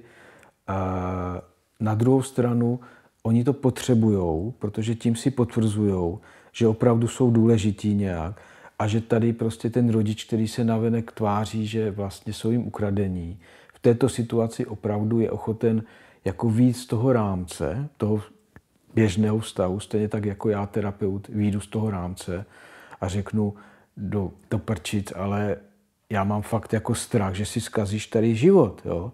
že mě to nepřijde tak jednoduchý, jak to říkáš, jo? anebo ty tady povídáš o tom, že jste se, nevím, třeba 15 letý, že se opil prostě tady, že byl na záchytce, že kamarád byl bezvědomý, tak já se u toho nemůžu tvářit jako frajersky, že je to OK, ale musím říct, hele, ale já mám fakt jako strach a nevím, co mám dělat, protože já s tvýma rodičema i s tebou mám dohodu, že když bude něco, co tě ohrožuje na zdraví, tak jim to prostě musím říct. Jo? A on bude, jakoby, očekáváte, že to ten terapeutický vztah jako ohrozí. Jo? Že ten klient vám řekne, no ty seš takový starý, taky to má plno těch dospělých, co mi furt něčem brání. Ale on to má opačný efekt často. Jo? Že ten klient to ocení, že vy překročíte nějaký terapeutický rámec a že opravdu zažijou, že vy reálně prostě se o ně bojíte. A to je to, co potřebují jako zažít. Jo? Že prostě všechno to, co se s nima děje, není vůbec jedno. To je ten autentický vztah, který léčí, který se nedá naprogramovat, nacvičit a nedá se schovat za nějaké prostě techniky. Jo? Prostě technika v terapii má být sluha, ale nemá být prostě pán. Jo? Čili já můžu ovládat nějakou úvozovkách techniku, ale to musí být autentické. To znamená, že já prostě neza, to dítě si nepozvu a neřeknu mu, ale tady budeme spolu něco dělat, dělej tohle, nakresli mi tohle, tady je prostě píseček, tady co tam vidíš. Prostě ne. Jo? Já když prostě zažívám něco s tím dítětem a mě to napadne, hele, a nechceš si zahrát třeba s pískem, mně to přijde, že teď, teď zrovna by se to hodilo, tak řekne, že ne, OK, nebo řekne, jo, jo, jo, už dávno jsem to chtěl vyzkoušet. A je to, jo? Čili dominuje to, že já prostě uh, ho zažívám nějak, jo, autenticky. Deprese, jako všechno, co zažíváme, vždycky dává smysl. Podle mě dává smysl i psychóza, i, i bludy, i halucinace, akorát prostě jim nerozumíme. Prostě definice psychózy, stejně jako definice deprese, je vztahová definice, to znamená, že já prostě se vyjadřuju o někom, komu nerozumím, jo? a proto to nazvu prostě nějakou chorobou, ale prostě nějaký smysl to má. To, že to doprovází prostě nějaký stav mozku, to je jasný. To jako nikdo nikdy netvrdil, že to tak není prostě. Ale ten smysl je často velmi, velmi vzdálený tomu, na co, co nás vědomě může napadnout, ale často není tak důležitý jako to, že to zažívám s někým. Jo? Že vlastně někdo je, s kým já můžu být autenticky vlastně smutný, nešťastný. A ten někdo to za mě komentuje a zažívá to se mnou. A prostě to nějakou dobu může se mnou jako vydržet. A já se pak prostě nadechnu třeba a jdu dál. Jo? Tak, tak, takhle vlastně ta emoční regulace eh, se dá eh, jako dosáhnout. Léky mohou otevřít toho klienta proto, aby byl vnímavější i pro jiné stavy, ale uh, jakoby neléčí, vlastně nedávají tomu smysl. A já, abych se vyléčil, jako, jakoby, já považuji člověka za smysluplnou bytost. Jo? Za, za někoho, kdo může dát smysl uh, tomu, co zažil a to, co zažil, má vliv na to, jak se cítí. A je zbytečné na tohleto rezignovat a vyhodit to oknem a říct, tohle je jenom nějaká chemická disbalance, kterou upravíme a ten člověk bude prostě potom eh, šťastnější. Jako pro mě je definice štěstí komplexní osobnost a ne někdo, kdo jenom není nějak jako šíleně smutný. A to je prostě něco, na co bychom neměli rezignovat a, a proto se dá vlastně hledat, eh, nebo měl by se hledat smysl vlastně ve všem, co zažíváme. Problém je, že to málo kdo chce dělat, protože je to strašně emočně náročný a vy tomu klientovi nemůžete pomoct bez toho, abyste to s ním nějak zažíval, eh, ale díky tomu, že ho nemusíte na rozdíl od něho zažívat 24 hodin denně, tak, tak proto je to jako, jako víceméně snesitelný, protože je to jenom několikrát prostě za ten týden nebo jednou za týden, ale je to potřeba. Není, není dobrý se tomu vyhýbat a, a je, je dobré i udržovat naději u toho klienta, že to nějaký prostě smysl má, protože jemu se opravdu staly špatné věci. Jo? Že ty věci jsou opravdu špatné, čili někdy těm dětem říkám, no já chápu, že jsi smutný, protože je to opravdu jako na hovno ten tvůj život je v podstatě na hovno. Rodiče tady bojují proti sobě, posílají tě k soudům, ty nevíš, jestli budeš v dětském domově. No já bych se z toho podělal.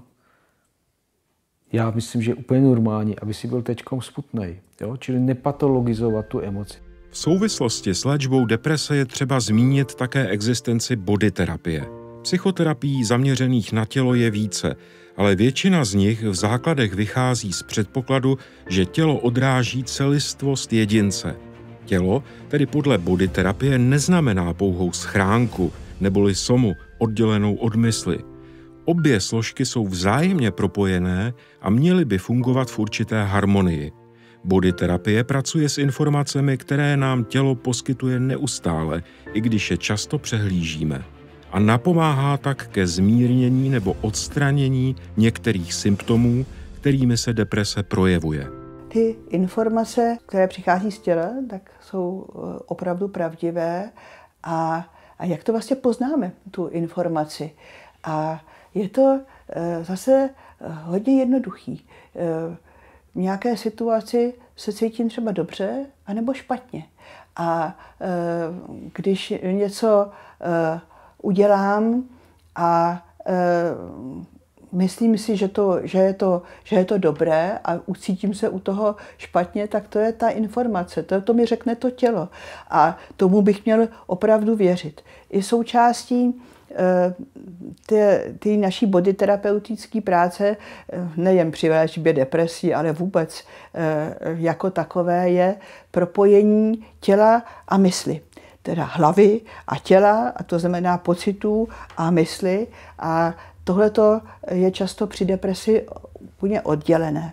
Že někde hlava si jede nějaký svoje scénáře a v těle se odehrávají něco, jin, něco úplně jiného a i to přispívá potom k takovému velkému zmatku v těch lidech a takových jako těch pocitů nejistoty nebo beznaděje, že, že se v tom vůbec nevyznají.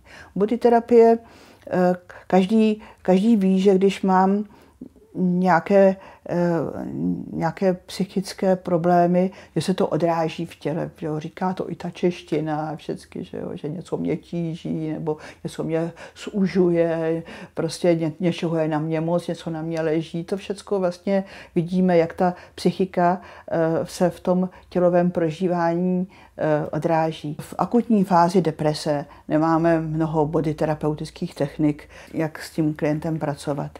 Ale to, co nám hodně pomáhá, je, eh, že máme tu znalost co se, a zkušenost, co se s tím klientem děje. A to, eh, to vede k takovému absolutnímu pochopení nebo i přijetí toho těch jeho nějakých zvláštnějších projevů, jak se, jak se klient projevuje různým způsobem. Buď to, když je vlastně takový zamrzlý, znehybněný, nebo zase když je nějak hodně pohyblivý nebo hodně v tenzi. Takže tohle my jsme schopni přijmout a porozumět tomu a e, to, je, to vlastně často úplně stačí. No to často stačí i tomu klientovi, že není tlače někam tam, kde e, na co třeba nemá nebo kde nechce být. Potom ta druhá část je kdy už eh, ten eh, klient přechází vlastně přes tu akutní fázi, začíná být stabilizovaný. To je vlastně něco, co dobře známe eh, z našeho krizového centra, z denního stacionáře, kde vlastně práce s tělem je teda nedílná součást té skupinové terapie. To, co je tam zase důležité, je porozumění tomu, co se děje s tím klientem a e, ani mu nenutíme nějaké e, společné aktivity. Pokud vždycky, je to vždycky nabídka, pokud ten klient se chce současnit, nechce současnit, nemusí, nemusí dělat vůbec nic, protože i ta naše nejlepší nějaká vůle a že bychom mu mohli nějak vylepšit ten jeho stav, tak se často nepotkává s tím, jak ten klient to cítí. My jsme sice eh, odborníci na ty těla, ale ten klient je odborník sám na sebe a on ví teda, co, co, co mu pomáhá nebo eh, eh, co ne. Možná bych přece jenom zmínila několik takových důležitých věcí a to je práce v téhle fázi kdy, ten, kdy ta duše je znova povolávaná do toho těla, tak by měla být dost jemná, protože nějaká větší práce s napětím, třeba eh, formou třeba Jacobsovy progresivní relaxace nebo nějaká eh, výraznější dechová cvičení, tak mohou zase nějak jako rozbít tu ochranou šlubku, kterou si ten klient vytvořil, aby se mu dobře dařilo a on by to vlastně nemusel vůbec integrovat, tuhle tu pomoc, nějak by mu to nepomohlo a zase naopak by se necítil komfortně nebo by se mohl cítit dokonce nebezpečně. Takže cvičení jsou vždycky taková cílená k tomu klientovi a e, pozorujeme a vlastně o tom mluvíme, e, jak, jak, jak, to, jak to cítí. E, důležité je možná ještě připomenout, že klient v depresi je zmítán často eh, pocity viny, že něco udělal špatně nebo že to měl udělat jinak, a což je ta minulost. A na druhé straně eh, katastrofickými scénáři, že, že, to, že, že už to nebude nikdy dobrý, že přijde o práci, že přijde o něco, něco ceného, eh, na čemu záleží a že vůbec už prostě se třeba nikdy neuzdraví. A eh, ta neustálá oscilace mezi tou minulostí a budoucností je velmi vyčerpávající a co my můžeme pro něj udělat, je zakotvit ho do té přítomnosti. I když ta přítomnost je úplně eh, jednoduchá, že eh, vlastně teď v tuhle tu chvíli nemůžeme udělat nic moc, tak, eh, tak je přesto, ta, přesto to je ta realita od které se ten klient potom může odrazit a není, není převálcován vlastně těmi, těmi představami. Jak to potom vypadá asi v praxi, je, že je řada takových kotvících cvičení, cvičení, kterým pomáhají se centrovat na tělo, ale zase, jak je ta deprese taková komplikovaná a Eh, a nejednoznačná, tak i tam eh, mohou, mohou být dvě, dva aspekty. Že já ano, já se můžu koncentrovat na sebe, najednou vnímám svoje tělo, to je dobře, konečně, konečně se cítím sám se sebou, takže to je takový dobrý efekt toho cvičení, ale stejně takový efekt toho cvičení může být špatný, že já se soustředím na sebe, vnímám se a v tu chvíli se najednou potkám s tou svojí celou lidskou mizérií a, a v tu chvíli mi to vůbec nepomůže. Takže e, i jak říkám, vždycky vy, musíme vybrat cvičení, které e, ten klient, kterému pomáhá a ne co pomáhá terapeutovi v jeho představách, že by mu pomohlo. My body terapeuti se snažíme do těla vložit něco eh, jednoduchého, něco normálního a zase není možné, aby ta psychika na to nějakým způsobem nezareagovala. Když já se můžu volně nadechnout, úlevně vydechnout, postavit se na vlastní nohy, tak tohle to všechno se odráží se na, ten, na tom psychickém stavu a na cestě ke zdraví záleží na výběru pacienta, k jakému terapeutovi s jakou specializací se vydá a na terapeutovi do jaké míry si troufne na depresi. Protože přece jenom převaha klientely běžného psychoterapeuta je úzkostná. úzkostně depresivní obtíže, úzkostné obtíže, psychosomatičtí pacienti, vztahové potíže. Takže ta pravá, opravdu těžší forma deprese, mluvím o té velké depresi, o velké depresivní poruše, by měla vždycky být léčena i medicínsky, biologicky a e, zároveň psychoterapeuticky. Velmi dobrý úspěch e, zaznamenávají i programy pro depresivní pacienty v rámci lůžkových zařízení nebo stacionářů, kde dobře funguje psychoterapeutická skupina, která se může zaměřit na depresivní pacienty. Sám jsem mnoho let vedl takovou skupinu. Mají pevný program, navzájem ti lidé jsou v interakcích sociálních, povzbuzují se, navazují přátelský vztahy. To všechno je veliká vzpruha, která pomáhá. Dřív samozřejmě eh, jakékoliv duševní onemocnění byla eh, téměř ostuda. Přiznat si to, že mám potíže tady v té rovině, říct to blízký, říct to doktorovi, začít to řešit. To jako opravdu dost často lidi měli potíže léta a ty stavy byly chronifikované v současné době. A to vidíme i, co se týká přílivu počtu pacientů do ambulancí. Převážně jsou to pacienti depresivní a pacienti s úzkostma. Pacientů s, s, s psychotickými onemocněními je v podstatě stejně. Ale tady těch eh, potíží přibývá a myslím si, že to je, ne, že by byla větší, možná ta doba je více zátěžová, ale která doba nebyla eh, v něčem těžká. Eh, ale je to tím, že ty lidé zaprvé chodí, mají už zkušenost, že jsme schopni pomoct, že to je nemoc léčitelná, že to nemusí zvládnout vůli a myslím si, že v tomto směru opravdu už, už i ta stigmatizace psychiatrie, i ta stigmatizace e, zvláště depresí je podstatně menší a pacienti chodí sami. Dřív prostě spíš chodili přes praktika, přes kardiologa, většina lidí k nám, ček nám se dá přijít bez jakékoliv žádanky, prostě volají každý den spousta lidí, telefonuje, eh, kteří sami se rozhodli, že e, chtějí konzultovat svůj stav s psychiatrem. Tak ta doba v tomto směru opravdu je jiná. Doba pokročila nejen v přístupu řady lidí k onemocnění depresí, ale i v oblasti léčby samotné, která se posunula do oblasti primární péče, přesněji do ambulancí všeobecných praktických lékařů. Platí to především o léčbě lehčích depresí.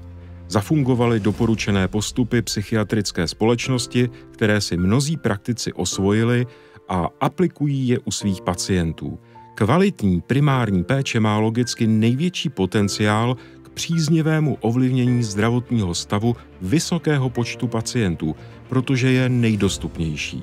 Zkušený praktický lékař může při léčbě mírnějších forem deprese navíc dobře využít svých znalostí z mnoha dalších medicínských oborů. A co je důležité pro pacienty s depresí v kontaktu s praktickým lékařem? V první řadě dost často uh, by bylo fajn, aby se nebáli a nestyděli prostě se svým praktickým lékařem uh, tady ty své potíže, uh, nevýkonnost, váhový úbytek, nesoustředění, všechny ty příznaky, o kterých jsme mluvili, tak s tím praktikem probrat, protože samozřejmě praktičtí lékaři čím dál více jsou mm, vzdělávání a erudování i tady v té problematice, takže už mohou, což před pár lety nebylo možné, nasazovat většinu antidepresiv. Takže eh, v mnoha případech u té lehčí deprese může ten praktik vlastně pomoct podstatně rychleji, než když teprve eh, řekne pacientovi, objednejte se k psychiatrovi. A myslím, že už se to i děje. Když se podíváme na preskripci antidepresiv, tak nejvíc jich stejně píšou praktičtí lékaři, protože je prostě eh, násobně tolik než psychiatrů. Takže přestože že to není jejich hlavní eh, náplň samozřejmě, protože musí řešit eh, všechny tělesné obtíže, takže po nich ani nemůžeme chtít eh, jemnou diferenciální diagnostiku té léčby. Ale na druhou stranu už umí začít. A dost často se ten pacient potom k nám ani nedostane. Že stačí opravdu, že k tomu praktikovi má důvěru, má dobrého praktika, nasadí se medikace, funguje ať už třeba s nějakou psychoterapii nebo jenom na, na medikaci. Eh, pokud samozřejmě ten stav je těžší, buď že ten praktický lékař neví rady nebo nezabralo na první antidepresivum, eh, nebo je ten stav atypický, tak určitě měl poslat psychiatrovi, ale vždy určitě ve chvíli, kdy pacient mluví o sebevraždě té chvíli už je to věc pro odborníka, takže ať už Centrum krizové intervence eh, nebo, nebo prostě psychiatrická ambulance. Krizové centrum je nízkoprahové zařízení a u nás na Centrum krizové intervence v psychiatrické nemocnici v Bohnicích, je ten, ten druh klientů velmi častý. Právě, že ty příznaky jsou tak různorodé, tak neurčité, takže ti lidé přichází právě často pro tu pomoc, aby jim někdo pomohl se v tom vyznat, že najednou se s nimi něco děje, že neudrží pozornost, že, že mají nezvládnutelné emoce, že, že selhávají v práci, že, že ty vztahy jim nejdou. A Eh, nebo že mají i řadu třeba somatických nějakých příznaků, jako je eh, změny v trávení, velký napětí v těle a tak. Takže ti lidé často přichází, aby se spíš tom vyznali. Na tu depresi často ani ještě nějak nepomyslí, co by se s nimi mohli, mohlo něco takového dít. Jima se děje něco zvláštního prostě a oni už to nezvládají. Takže to je vlastně takový jako velmi častý uh, klient u nás na krizovém centru. Jinak ty ty klienti jsou tam v celé škále, od těch počínajících depresí, těch lehčích forem, až po ty střední a až po ty vlastně velmi těžké, kterým potom třeba nabízíme dál teda hospitalizaci. Ale když se ještě vrátím k těm, eh, těm středním a lehkým formám, takže důležitá je diagnoza. Ten eh, psychiatr nebo i u nás psycholog diagnostikuje tuhle, eh, tuhle nemoc. A pokud teda už vlastně má tuhle eh, stanovenou diagnózu deprese, tak se s ním vypracuje velmi podrobný léčebný plán, dostane vysvětlení, co se vlastně s tím děje a proč a um, eventuálně dostane i, dostane i patřičnou medikaci. Takže to je vlastně taková jako um, první ošetření u nás a ten klient, pokud uh, může už odejít, tak, um, tak dostane, je vybaven vlastně příslušnými kontakty, na které se má potom obrátit v té další léčbě. To je jedna část, ta krizová, to je klasická krizová intervence eh, pro lidi, kteří přichází z depresí. No a pak už je ta druhá část, která už je taková specifická pro to naše krizové centrum, že někteří eh, lidé eh, profitují z toho, že mohou být uložený na to krizové lůžko, jsou tedy vlastně vzdálení vlastně třeba z toho prostředí, které prohlubuje jejich příznaky a um, Další potom už ambulantní fáze může být v tom, že dochází do denního stacionáře. No, denní stacionář eh, ten je, je zajímavý v tom, že i rané formy eh, depresí může podchytit psychoterapeuticky a eh, ti lidé tam dostávají zase celou škálu pomoci, velmi intenzivní, chodí tam každý den a eh, je to ta skupinová psychoterapie, individuální psychoterapie, nácvik různých relaxačních technik nebo práce s tělem. Takže tam po čtyři týdny oni dostávají takovou jako velmi vydatnou podporu toho, eh, té, té léčby. Specializovanou a dlouhodobou péči při onemocnění depresí poskytuje ambulantní psychiatr. Jeho pomoc je možné vyhledat nejen na základě doporučení praktického či jiného lékaře, případně po poradě s terapeuty z krizového centra. Může tak učinit kdokoliv bez doporučení, když na sobě cítí příznaky deprese. S vyhledáním a kontaktováním ambulantního psychiatra přitom může pomoci jak praktický lékař, tak i člen rodiny nebo jiný blízký nemocného. Realitou ovšem je, že i ve velkých městech může být čekací doba na pomoc ambulantního psychiatra 2 až 3 měsíce. V první řadě opravdu nechat se odradit tím, že se vám může opravdu stát, že tu pomoc na první dobrou neseženete. Mm, ve chvíli, kdy už samozřejmě jste objednán, přijdete, což pak samozřejmě, a to možná trošku budu apelovat na, na eh, zodpovědnost spolupacientů, dostat co se stane, že se někdo objedná, ještě dva dny předtím ověřujeme, že opravdu přijde, aby jsme ten termín ještě uvolnili. On ho potvrdí a pak nepřijde. A někdo jiný na ten termín čeká. A my vlastně třeba týdně z pěti, z šesti lidí nepřijdou dva. To by mohlo být další dva pacienti, kteří můžou tu péči dostat. Kdyby jenom dotyčný buď řekl, ne, já už jsem se objednal jinde a vzali mě dřív, nebo já prostě z nějakého důvodu už mě léčí praktik, nebo já prostě jsem nakonec se bojím a objednám se znovu. Ale prostě trošku z odpovědnosti k jiným, protože tím, že je to eh, hrazeno z veřejného zdravotního pojištění, tak tam trošku ta odpovědnost, že vlastně v lékaři v ambulanci zbytečně, ale hlavně v té chvíli mohl někomu pomoct a nemůže. Chci tím říct jediné, pokud eh, jste se už odhodlal, že přijdete, tak přestože samozřejmě máte obavy, jak to bude probíhat, zhodnocujete, jestli vlastně to opravdu potřebujete a jestli si to nevím, zasloužíte a jestliže zrovna teda eh, jsou nějaké okolnosti, pro které nemůžete, tak buď přijďte, nebo přiznejte, že nepřijdete. Že si třeba objednáte znovu, ale vzhledem k tomu, že už jste se jednou rozhodl, tak určitě je správné přijít už to posoudíme, jestli bude potřeba nasadit léky, nebo je to o tom, že se třeba domluvíme na psychoterapii, jestli to bude dlouhodobější léčba, nebo bude vhodná terapie světlem, nebo různé další metody. Eh, takže eh, samozřejmě myslím si, že ve chvíli, kdy je člověk objednaný, tak je dobře když přijde, když chápu, že se někdy stane, že opravdu nemůže přijít, tak v té chvíli, když to jenom trochu jde dát vědět, aby to místo mohl využít někdo jiný. Když už se odhodláte a přijdete, tak myslím si, že eh, většina nás psychiatrů jsme snad docela normální lidi, eh, kteří svoji práci dělají, protože chtějí a že vlastně pacientům eh, pomoc chceme a to, co první samozřejmě je empatické naslouchání. Takže se vás samozřejmě zeptáme, co vás přivádí, jaké máte potíže a můžete začít, kde chcete. My se když tak doptáme, takže samozřejmě pacienti, no ale já vlastně nevím, čím mám začít. Čímkoliv. Je to úplně, úplně jedno.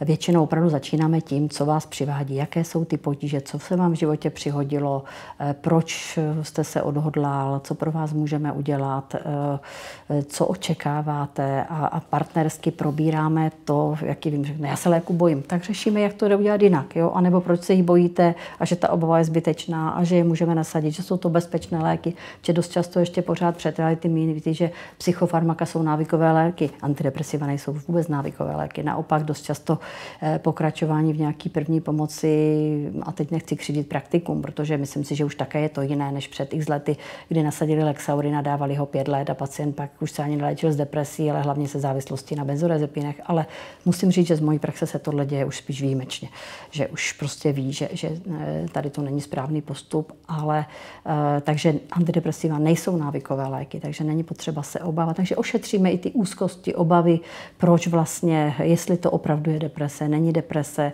Eh, a mm, Někteří kolegové třeba začínají anamnézou, eh, já třeba anamnézou většinou nezačínám, pokud to pro pacienta není snažší, že on sám chce začít anamnézou a uklidní ho třeba to, že vlastně může projít, eh, projít tady ty, ty své běžné nemoci, protože je to pro něj podobné jako u jiného lékaře, ale spíš se k ní pak vrátíme k tomu, co vlastně nevyplynulo v rámci toho popisu těch potíží, s kterými přichází.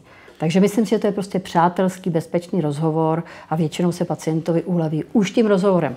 My používáme tady ten takový dotazníček, není to žádná validovaná škála, ale je to prostě eh, dotazník, který je zaměřený na ty úzkostně depresivní příznaky. Takže pacient už vlastně v klidu v čekárně se na to podívá, v klidu si ho vyplní a e, kde samozřejmě jsou popsány takové ty základní příznaky. Poruchy spánku, únava, vyčerpavost, e, teď jenom cituju některé z toho, špatná paměť, e, dechové obtíže, bušení srdce, tělesné obtíže různé, smutná, špatná nálada, do ničeho se mi nechce. Čili jsou to formulace, které, mu, které pacientovi většinou jsou známé. A on si ještě vlastně může říct, tady to vlastně vůbec nemám, tady to mám trochu a tady to mám moc a pak vlastně uh, už vlastně se mu tím i lépe o tom onemocnění potom mluví, protože si to takhle vlastně v té hlavě projde. A samozřejmě na základě toho dotazníčku my potom uh, se spolu bavíme třeba i o lékách. Já dost často řeknu, teď mi vyberte tři, které vás trápí nejvíc. A kdybych mohla být kouzelník a mohla vám něčem pomoct jako nejrychleji, tak co by to bylo? A vybereme něco, co toho člověka trápí. A vy si třeba myslíte, že ho trápí to, že má špatnou náladu. Ho nejvíc trápí, že nespí nebo úplně některý jiný příznak, který vám ani nepřijde, jako jo, on je samozřejmě součástí toho depresivního syndromu, ale vlastně jsme schopni vybrat tu medikaci podle toho, to, co je pro něj důležité. I anamnestické údaje jsou údaje, co nám pacient sám řekne. My, když eh, část té anamnézy třeba řekne, že ji nechce říct, tak to necháme a ptáme se někdy příště. A on s tím přijde sám, já jsem vám to minule neřekl, ale vlastně asi bych vám měl říct, že. Jo a že babička byla závislá na benzodiazepinech nebo něco takového prostě. A já se za to stydím, protože to byla rodinná ostuda, byla to malá ves. Jo? E, takže samozřejmě to není tak, že musíme mít tu anamnézu kompletní. Vlastně vždycky se jde do hloubky, do které pacient chce. Takže samozřejmě od toho jsou to anamnestické údaje, jsou to subjektivní údaje pacienta, takže já ani eh, nemůžu ověřit, jestli to tak je. Když mi řekne, že nikdy nebyl hospitalizován, tak nebyl. On třeba byl, ale já to nikdy ověřovat nebudu. A buď prostě sám přijde k tomu, že bych to měla vědět, anebo se to nikdy nedozvím. Jo? I to je možné. Někdy je pro ně těžké třeba mluvit o té eh, o otázce sexu. Jednak to může pomoct třeba ten dotazník, eh, který jsme si ukazovali, protože ten je vlastně takový, že on si to tam spíš může zaškrtnout a buď se k tomu pak vrátí nebo nevrátí, anebo já to prostě přejdu nebo se na to zeptám tak, že vlastně je to bezpečný a už mu to téma vlastně já sama nabí, jako se otevřu ho já a on se k němu vyjádří v rozsahu, v jakém on chce. Eh, takže a je to samozřejmě potom o té, o té empatii, o té důvěře v toho lékaře a, myslím si, že většinou mm, a, a priori pacientovi věřím. Když pacient řekne, že léky bere, tak je prostě bere. Kolegové mi říkají, já si to můžu zkontrolovat v lékovém záznamu. Já říkám, samozřejmě, kdybych chtěla kontrolovat interakce, tak se podívám do lékového záznamu, co všechno bere, jestli když si to sám nepamatuje, co bere od praktika. Ale uh, jinak, když říká, že léky užívá, tak je užívá. Já s ním nepůjdu do konfrontace, že je neužívá. Protože to samozřejmě musím věřit tomu, že to, co mi říká, je eh, pravdivá informace. Takže, a myslím si, že většinou s těmi pacientama ten důvěrný vztah máme a, a že uh, ty informace pravdivé dostáváme. Jedna věc je, a to je důležité říct, a to si myslím, že jsem opakovaně mluvila o těch praktických lékařích, ale teď už je to také jiné. Ale dřív to bylo tak, že prostě, jak oni toho mají hodně, tak dost často napíšou krabičku antidepresiva a nějak pacient je dostatečně nezdůrazní, že to není, že doužívá a bude zdrav. A nějak to z té medikace třeba vypadne. Což je samozřejmě špatně, protože ty léky sotva zabrali a už skončí. A ta léčba deprese je dlouhodobá. Než odezní akutní ataka, tak je to třeba 12 týdnů, kdy opravdu, eh, co se týká léčby, tak když to úplně zjednoduším, ani ne, tak podle eh, nějakých eh, jasně definovaných pravidel, obecně léčit minimálně půl roku, co je ten stav úplně dobrý, čili ne od začátku onemocnění, ale kdy už se cítím úplně zdrav, úplně ve své normě. A samozřejmě, eh, či není to o tom, nasadím léky, zaléčím, vysadím. Něco jiného bylo třeba před uh, desítkami let, kdy ty antidepresiva měly nežádoucí účinky, které byly poměrně nepříjemné, čili dotyčný neměl depresi, ale v zásadě nic moc nebyl schopný dělat.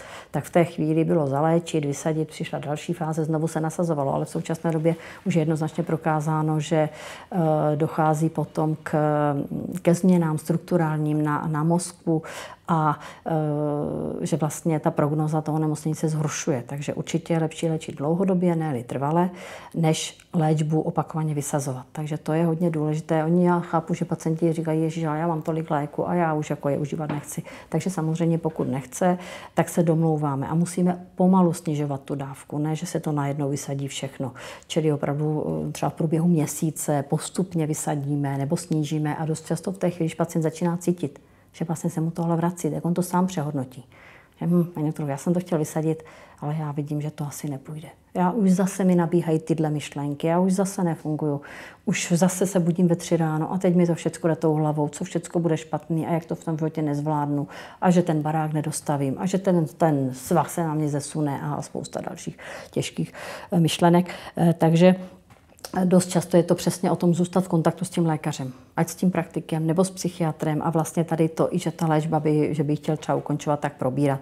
Samozřejmě je to potom e, nějaké dodržování správného životního stylu, což všichni víme, málo to dodržujeme, e, držet si nějaký spánkový rytmus, nesedět do půlnoci u počítače, e, kdy vlastně e, ten osvit obrazovkou nám narušuje cirkadiální rytmy, což samozřejmě zase může vést k tomu, že, že vlastně ten, ten depresivní syndrom rozvide, včetně dalších dalších jiných onemocnění, jako je cukrovka, kardiovaskulární eh, choroby, které vlastně se také postupně ukazuje, že souvisí s tímto naším životním stylem, že už nejsme navázáni na přírodu, setmí se, chystáme se jít spát, s, s, s úsvitem vstáváme.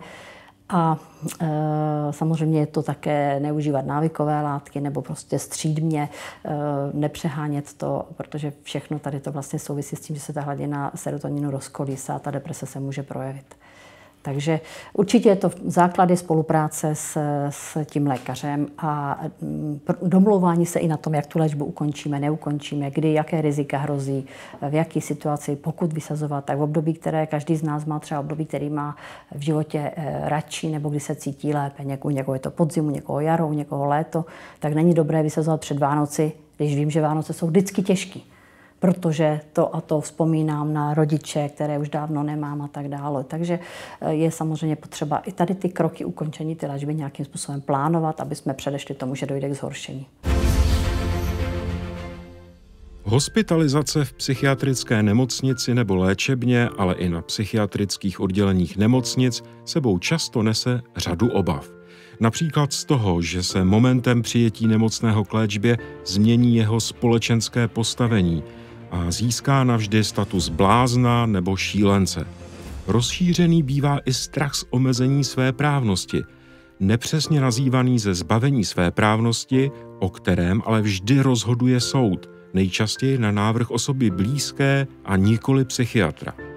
Jisté zoufalství z představy hospitalizace plyne i z přesvědčení, že v úvozovkách skončit na psychiatrii znamená velké životní selhání až debakl, který si člověk přivodil sám, když si nedokázal pomoci vlastní vůlí.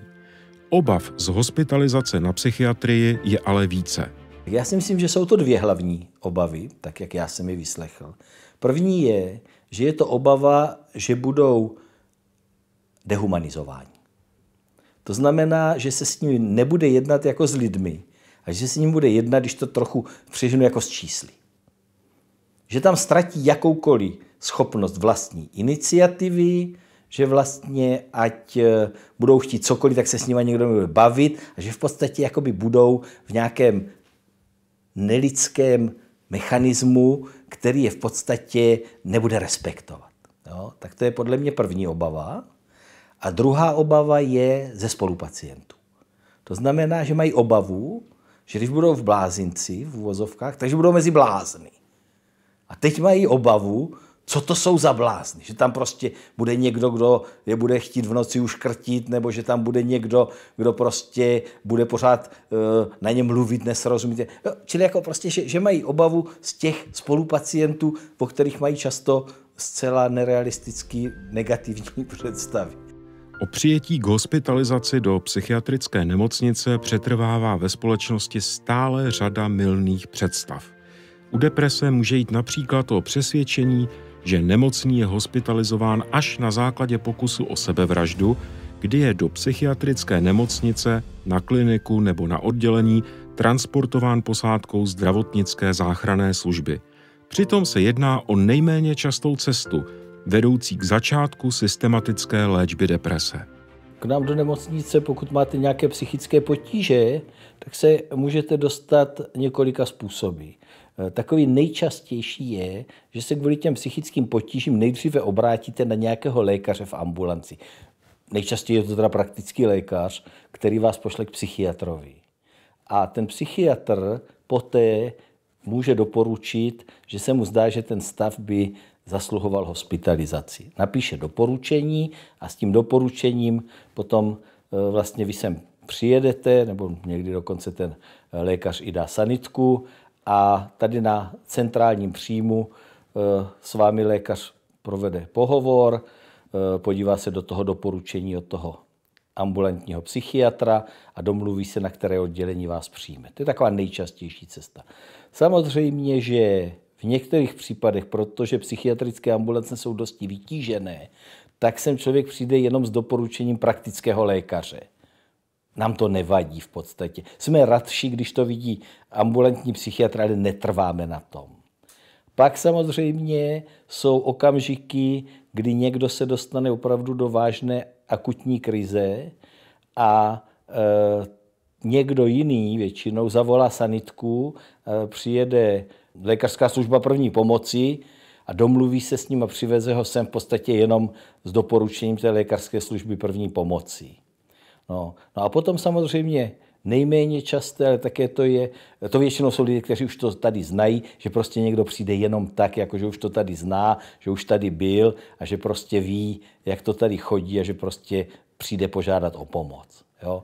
Ale je pravda, že tyhle, ty, kteří přijdou tak jako úplně jenom na vlastní pěst, to nejsme moc rádi, protože přece jenom tam je větší riziko, že ten člověk řekl bych, to neodhadne, jestli, jestli nestačí ta ambulantní péče. Jo? Jako jsme, jsme jak vždycky radši, když to předtím jakoby někdo posoudí a v okamžiku, kdy ta deprese už zasáhne do vašeho života natolik, že v podstatě nejste schopen fungovat.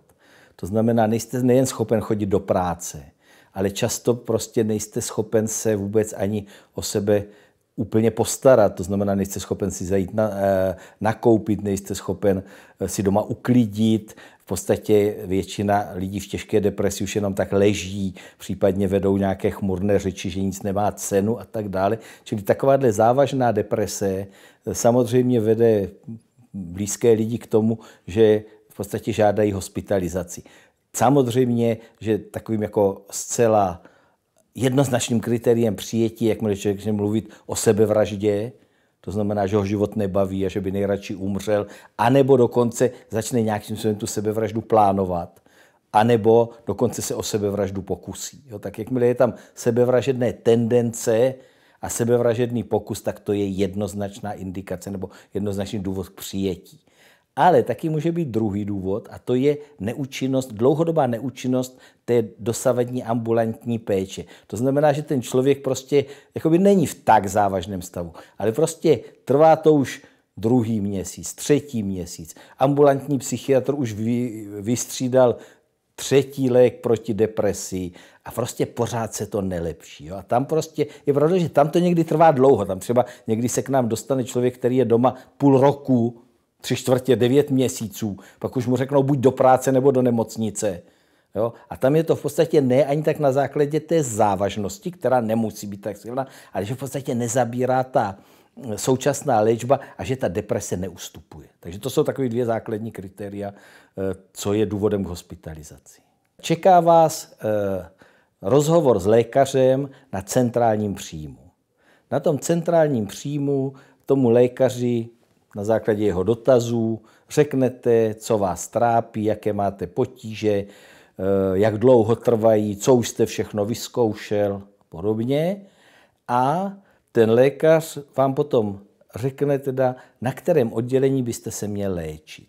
Čili vám jak si řekne, dobře, tak já vás teda pošlu na oddělení 6B. S tím vyšetřením z toho centrálního příjmu je ten pacient odeslán někdy sanitkou, někdy dojde někdy pěšky eh, na to oddělení. Na tom oddělení je potom přijat personálem, středně zdravotnickým personálem do stavu, zase je tam s ním proveden nějaký vstupní pohovor a potom s ním opět již delší dobu si po, promluví ošetřující lékař toho oddělení. Zatímco to, ten pohovor na tom centrálním příjmu většinou trvá tak 15, 20, případně 30 minut, jo, řekněme do půl hodiny, tak eh, ten rozhovor potom na tom oddělení s tím ošetřujícím lékařem, ten většinou je tak na hodinu a půl až dvě hodiny, to je už opravdu jako takové eh, důkladné vyšetření vlastně celého životního příběhu toho pacienta, čili netýká se jenom jeho, řekl bych, aktuální situace, ale i jeho eh, jaksi, mm, životních osudů od, od dětství až do současnosti. No a ten eh, ošetřující lékař potom eh, doporučí medikaci, a vlastně ten člověk je teda na tom oddělení dále hospitalizován, zařazen do nějakého léčebného programu, dostává nějaké léky, eh, často eh, záleží trochu na odděle, ve většině případů eh, má nabídku i pohovoru s psychologem, má nabídku nějaké aktivizační terapie, protože zvláště u depresí je hrozně důležité, aby ten člověk byl nějakým způsobem v pravidelném biorytmu, to znamená měl jako pravidelný denní rytmus a aby nebyl, nebyl pasivní, to znamená, aby opravdu měl šanci eh, na nějakou aktivitu. To, proč eh, vlastně eh, je ten léčebný režim nějakým způsobem rozčleněn a nějakým způsobem hm, pravidelný, tak to má dva důvody. Jeden z nich je, řekl bych, pragmatický a druhý je terapeutický. Ten pragmatický důvod je, že jste málo platné v ve zdravotnickém zařízení. Jo? A v každém zdravotnickém zařízení, bez výjimky, platí prostě nějaký režim, kvůli, díky kterému je to zařízení schopno fungovat. Prostě jako sestry nastupují do služeb v určitou dobu. Ne, že jednou přijdou v 6 a jednou přijdou v 7, jednou přijdou v 8, podle toho, jak se zrovna ráno vyspí. Jo? Laboratoře pracují v určitou dobu, takže odběry se musí dělat v určitou dobu. Kuchyně pracuje nějakým mechanismem, takže musí přivést e, jídlo na oddělení v určitou dobu. Čili první je pragmatický a opravdu to souvisí s tím, že je to prostě zdravotnické zařízení a znovu vám říkám, to není prosím na psychiatrii. To je v každém zdravotnickém zařízení, že máte nějaký takovýhle pravidelný režim. Ale chci vám říct, že zrovna v psychiatrii je opravdu důležitý ten pravidelný denní rytmus. Jo?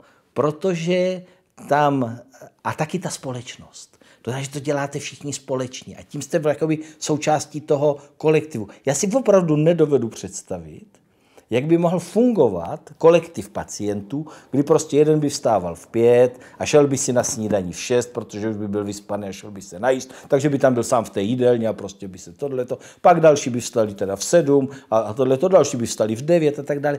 Rozumíte, oni by se jakoby nepotkávali. Oni by, jo, taky tam máte nějaké pevné řekl bych, doby toho programu, jakože třeba činnostní terapie, prostě ty dílny se otvírají, v, já nevím, o půl deváté, a pak se zavírají ve tři.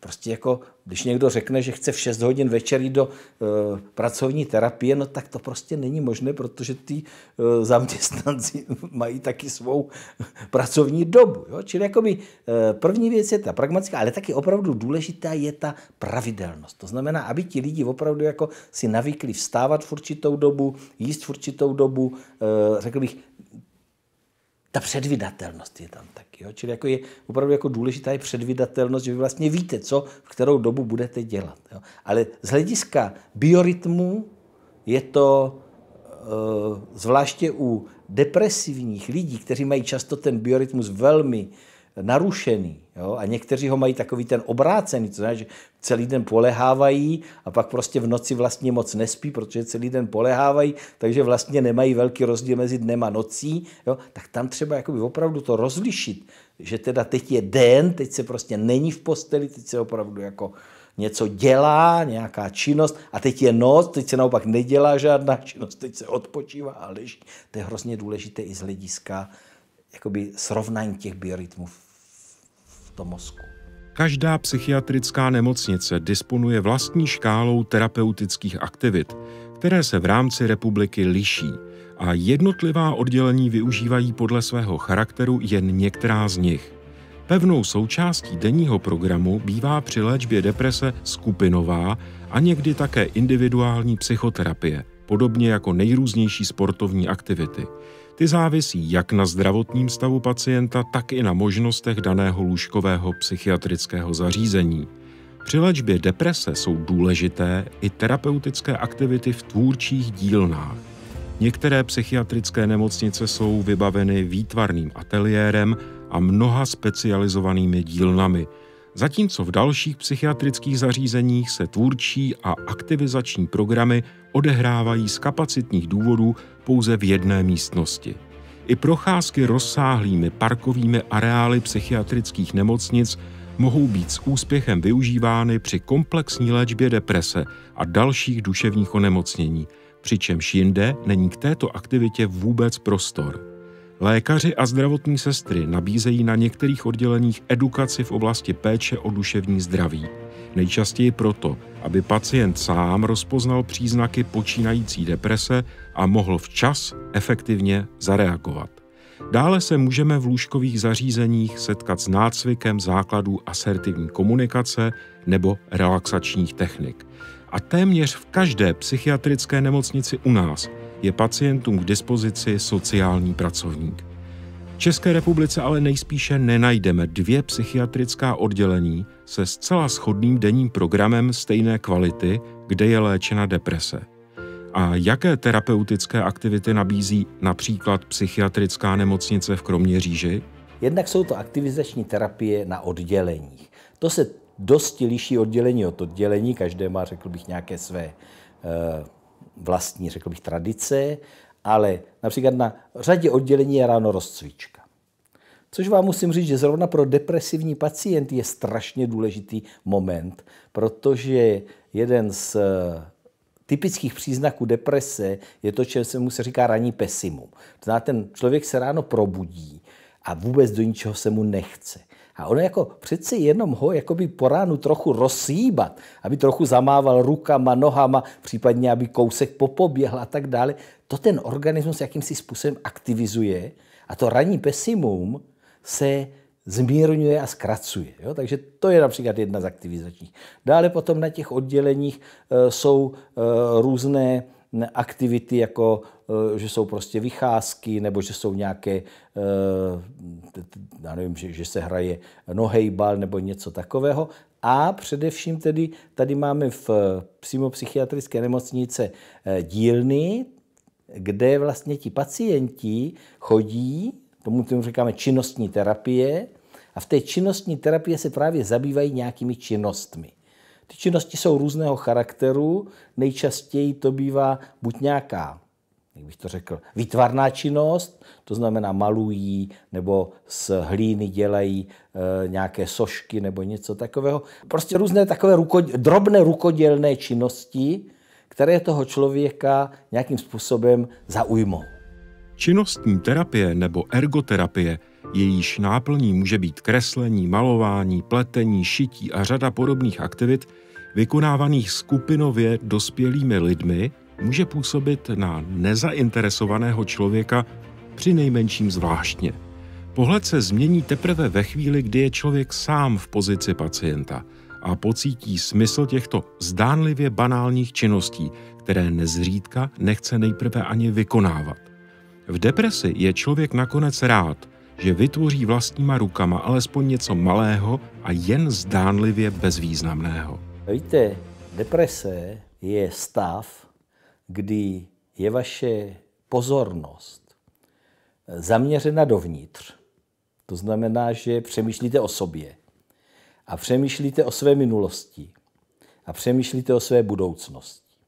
A všechny tři tyhle oblasti vám deprese vybarvuje v černých barvách. To znamená, sám sebe vidíte jako neúspěšného, neschopného stroskotance, který prostě nikdy nic nedokázal.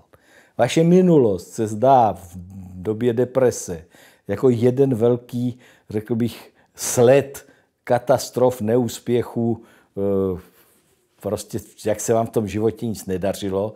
A vaše budoucnost je naprosto chmurná a už to nikdy lepší nebude a vždycky budu takový. Čili jako by to přemýšlení, to zaměření v podstatě tu depresi do značné míry sítí. To znamená, že ji udržuje. Zatímco, když toho člověka pošleme, aby něco dělal s jinými lidmi dohromady, to je vždycky důležité, jo? aby toho nebyl člověk sám. Jo? A ten člověk se zaměří na něco, co jakoby jeho pozornost přesměruje ven. Jo? A když něco kreslíte, nebo když něco modelujete, nebo když něco vyšíváte, nebo tak, tak v podstatě jakoby nemůžete přemýšlet o sobě a o svých, přemýšlíte o tom, co děláte. Když jsou tam kolem vás lidé, je tam rozhovor, rozumíte, zase si povídáte a tak dále.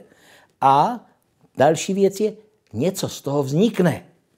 Takže najednou máte nějaký, řekl bych, jasný důkaz toho, že jste ten čas nestrávil v totálním nic nedělání. Že to má nějaký význam. Jo. Ještě jsem si vzpomněl, co tady je opravdu oblíbená dílna.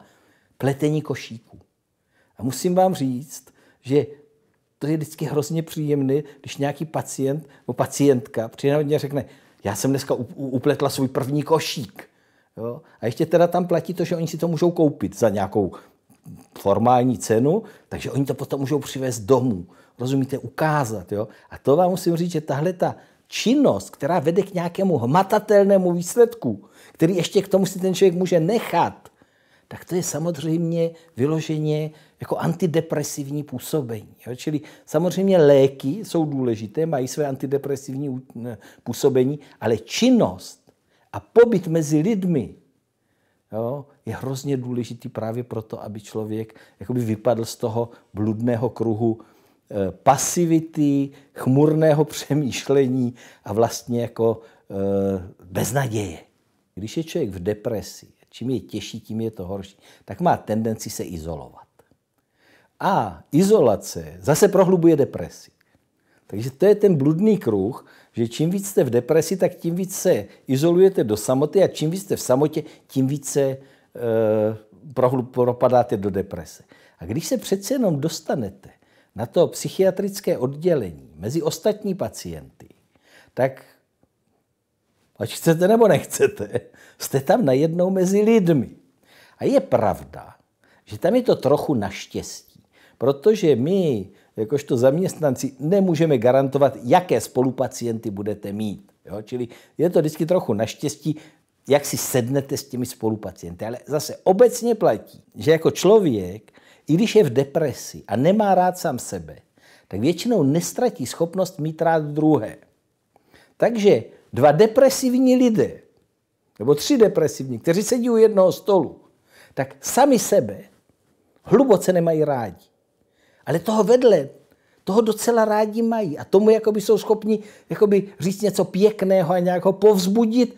No a ten to dělá naopak. Takže vlastně tam potom dochází k tomu, že ti pacienti navzájem si poskytují podporu psychickou a nějakým způsobem se, řekl bych, z té deprese určitým způsobem vyvádějí. Jo? A to je opravdu hrozně důležitý. Eh, proto já jsem dost skeptický eh, k větě, kterou jsem slyšel mnohokrát, a to je, že pacient se nejlépe léčí ve svém přirozeném prostředí.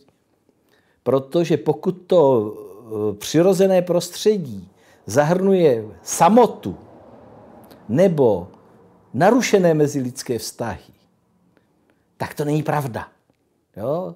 Tam se teda člověk hlavně z depresí neléčí nejlépe. Ten člověk naopak musí, takhle, kdyby se tam člověk léčil nejlépe, no tak by se tam vyléčil. Nemusel jít někam jinam, že jo? Ale právě to, že se v tom přirozeném prostředí ta nemoc nezlepšuje, nebo dokonce, že tam vznikla a dále se prohlubuje, tak je znamení, že ten člověk naopak potřebuje z toho prostředí jakýmsi způsobem se dostat pryč a dostat se do prostředí, které je jakoby neutrálnější z jeho emočního hlediska a naopak dostat se mezi lidi, kteří pro něj mají pochopení, protože jsou taky nějakým způsobem mají psychické potíže. A ti lidi najednou, jak říkám, sami sobě pomoct ne, úplně nemůžou, ale navzájem si můžou pomoct daleko lépe. Je pravda, že já jako lékař, jak jsem říkal, při tom vyšetření i při pozdějších kontaktech s pacienty, vždycky chci vědět, v jakém prostředí žijí. A když zjistím, že to prostředí, ve kterém žijí, je primárně přijímající, eh, takové, jako řekl bych, podpůrné a tak dále, tak vím vždycky, že ta prognóza je daleko lepší. Naopak, když prostě vím, že abych dal příklad, ta žena žije léta s manželem, který se k ní chová, eh, jak si, jak si, že, že, že je na ní prostě eh, že ji nadává, že ji ne, ne, nerespektuje, no tak prostě vím, že ta ženská, eh, jak si z hlediska prognózy to bude mít horší. No, ale i během té hospitalizace se dají udělat určité věci. První věc je, že se může ta, ten pacient poté, co už se z té deprese vlastně určitým způsobem dostane, si to může promyslet a může přemýšlet o tom, jak jinak on se i při nezměněném domácím prostředí může chovat jinak. To znamená, v čem on může změnit své chování, aby právě eh, pro něj nebylo tak hrozné.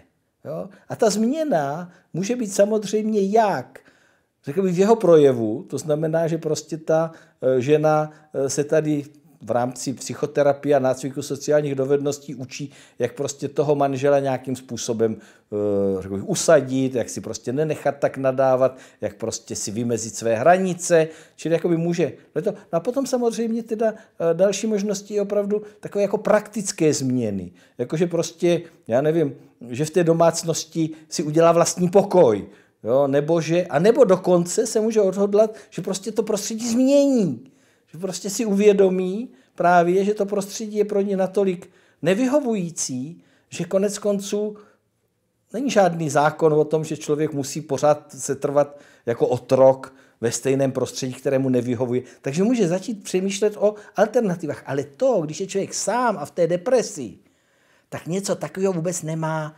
kapacitu. Takže tam je opravdu potřeba nejdřív tomu člověku pomoci, aby se dostal, řekl bych, z těch nejhorších fází té deprese. Ale potom opravdu tady v rámci té hospitalizace, a to je většinou úkol teda buď psychologu nebo skupinové psychoterapie, kde se opravdu přemýšlí a jako probírá, co ten člověk by mohl dělat po propuštění, právě to, aby se mu to znova, jak, jak já tomu říkám, by nespadl do stejných kolejí, jo? aby prostě jakoby začal ve svém životě dělat nějaké změny. No. A jak je to, to je samozřejmě vždycky u každého pacienta, pacientky individuální, ale hlavně, že jakoby tady ukazujeme, že změna je možná. Prostě není potřeba pořád jakoby zůstávat v těch starých zvících, protože to tak vždycky bylo a protože takhle jsem to vždycky dělal, dělala. Jo? A zase tam je ta síla těch ostatních, kteří zase daleko lépe vidí, co by měl ten druhý dělat jinak, často než to vidí sami na sobě. Jo? Takže když to takhle probíráte v té skupině, a tam vám zase musím říct, že eh, doporučení od spolupacientů ti pacienti přijímají s daleko větší důvěrou než doporučení od terapeutů. A já myslím, že je to rozumné a je to proto, protože tam opravdu mají pocit, že jsou jakoby ve stejné skupině, jako, jako, že, že jsou stejného, řekl bych, eh, kmene. Jo, přece jenom ti terapeuti jsou řekl bych, trochu jakoby jiná skupina, i když mohou být vnímáni jako laskaví, e, přátelští a tak dále, ale nemají ten zážitek. Jo. Takže já zase teda vám musím ale říct, to je moje osobní, že já se vždycky s pacienty svěřuji i se svými vlastními potížemi psychickými. Takže jim říkám, jako, že jestli si myslí, že já žádné psychické potíže nemám a neznám a tak dále, že to je omyl. A tím se jim přibližuju, protože oni prostě vidí, že i já eh, prostě jsem člověk a jako člověk mám taky, řekl bych, znám psychické potíže potýkal jsem se s ním v životě a nějakým způsobem jsem s ním prošel. prošel jo? Takže tohle lidi zbližuje. Společná zkušenost zbližuje. Jo? Takže proto ti pacienti často si pomáhají navzájem vlastně lépe, než jim může pomoct ten e, psychoterapeut. Na druhé straně zase, abych to trochu vyvážil, je pravda, že ta laická pomoc je trochu riskantní. To znamená, že tam, abyste řekl, můžou přijít skvělé nápady, ale taky naprosté hovadiny. A tam je právě dobrý, když je u toho ten terapeut, který je profesionál a který prostě jaksi má přece jenom to vzdělání, aby to odlišil a něco podpořil, a podnítě řekl, to je dobrý nápad. A on řekl, no přece jenom, víte, já myslím, že tohle to by bylo riskantní, protože a teď prostě vysvětlí, že já jim, tetičce to sice pomohlo, když jela do Lourdes a tam se třikrát pomodlila a deprese se zbavila, ale že teda jako ne u každého to takhle funguje, takže by bylo lépe zkusit třeba i něco, řekl bych, jednoduššího. No. A to jsou takový ty, to, ale znova říkám, ta, ta pomoc mezi pacienty je prostě hrozně důležitá a je to jeden z přínosů hospitalizace, na který, který se tak jako dostatečně podle mě nezdůrazňuje. Já myslím, že pro lékaře no, říct pacientovi, že i on zná nějaké psychické potíže, je podle mě zcela přirozené, protože to uh, odkazuje na naši společnou lidskost. A já jsem hluboce přesvědčen, že platí, že psychické potíže má každý člověk. Nějaké psychické potíže. Ale v čem se lidé liší, je způsob, jakým s nimi zacházejí. A druhá věc je, uh, jaké mají trochu, bych řekl, v životě štěstí. To znamená, uh, jakého typu ty psychické potíže jsou. Abych vám dal příklad. Já si myslím, že stavy úzkosti zná úplně každý. Já si nedovedu představit člověka, který by nikdy v životě se v žádné situaci necítil úzkostný, vyděšený, eh, měl pocit, že prostě jako něco nezvládne, že se mu něco nepodaří a tak dále. To si myslím, že to je obecná zkušenost. Na druhé straně, třeba taková zkušenost, jako jsou sluchové halucinace, ta už je daleko řidší. Jo? Čili jakoby tam jde o to, že záleží na typu těch psychických potíží, ale že to, že máme nějaké psychické potíže a hlavně v oblasti nálady, to znamená úzkost a deprese, tam si myslím, že to je spíše uh, normou. Že prostě každý má někdy období, kdy je prostě skleslý, bez břínku, do ničeho se mu nechce, Jo? No aspoň, že většina lidí. A já jako lékař jsem to zažil, znovu říkám, mám to tohleto, a připadá mi, že mě to s těmi pacienty zbližuje, protože oni si uvědomují, že opravdu není, a na tom teda já trvám, jo, není žádná hranice mezi duševně zdravými a duševně nemocnými. To není kategorie. To je, to je ta škála. Jo? Kde na pomyslné škále? Tady je člověk, který je úplně zdravý, duševně, tělesně. To. Takový člověk neexistuje. To je konstrukt. Na druhé straně je člověk, který je celý nemocný, nemá vůbec nic zdravého. Takový člověk taky neexistuje. Ten je konstrukt. Jo? A všichni jsme někde mezi. A dokonce na té škále jakýmsi způsobem kolísáme. To znamená, chvíli jsme takhle a pak jsme zase tak. Jo? A tím pádem vlastně není žádná hranice mezi duševně nemocnými a duševně zdravými. E, a já jako lékař mám se svými pacienty daleko více společného než rozdílného.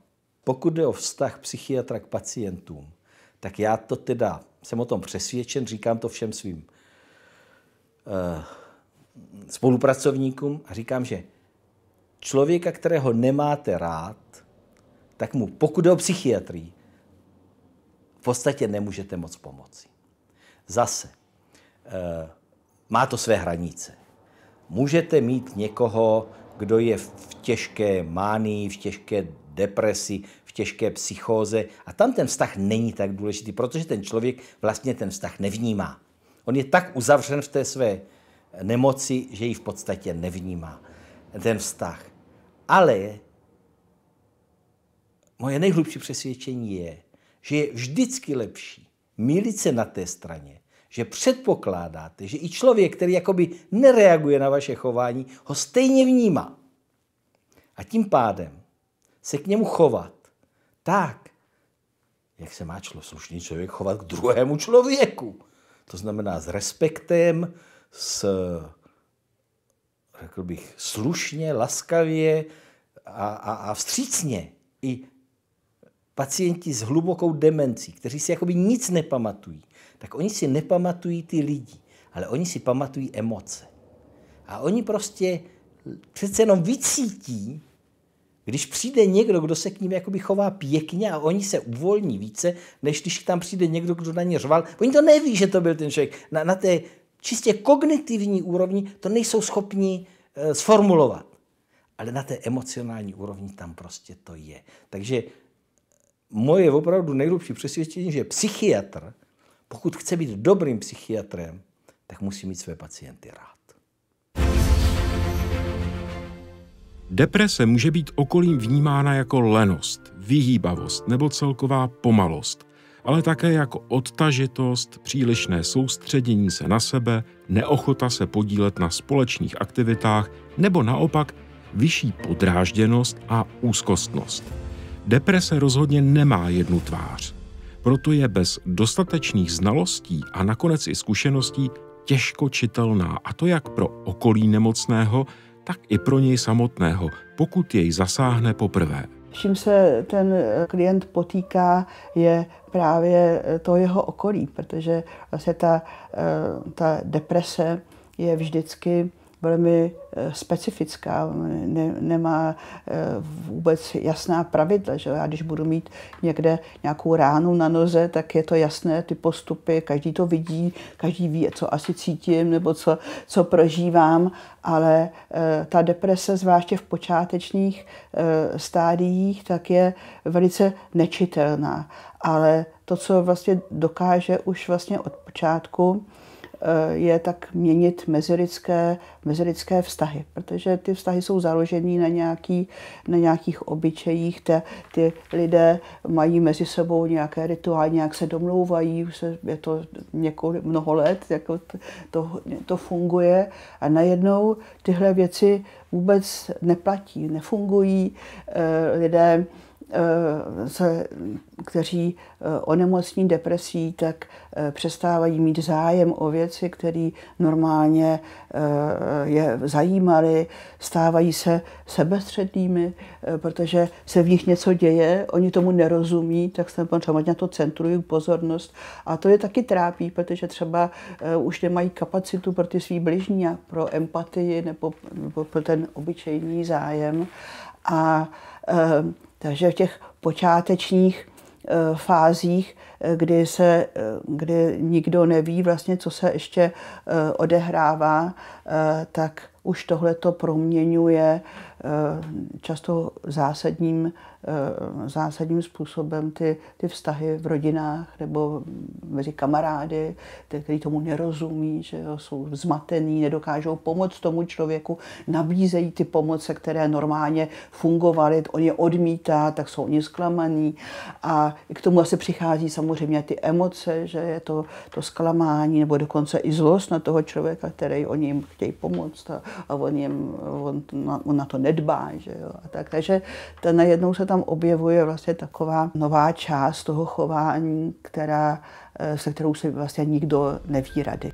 Při komunikaci s člověkem v depresi je často nutné vážit každé slovo. Pomoc bývá otázkou jak znalostí projevů nemoci a trpělivého naslouchání, tak i kvality vztahu mezi pečujícím a nemocným.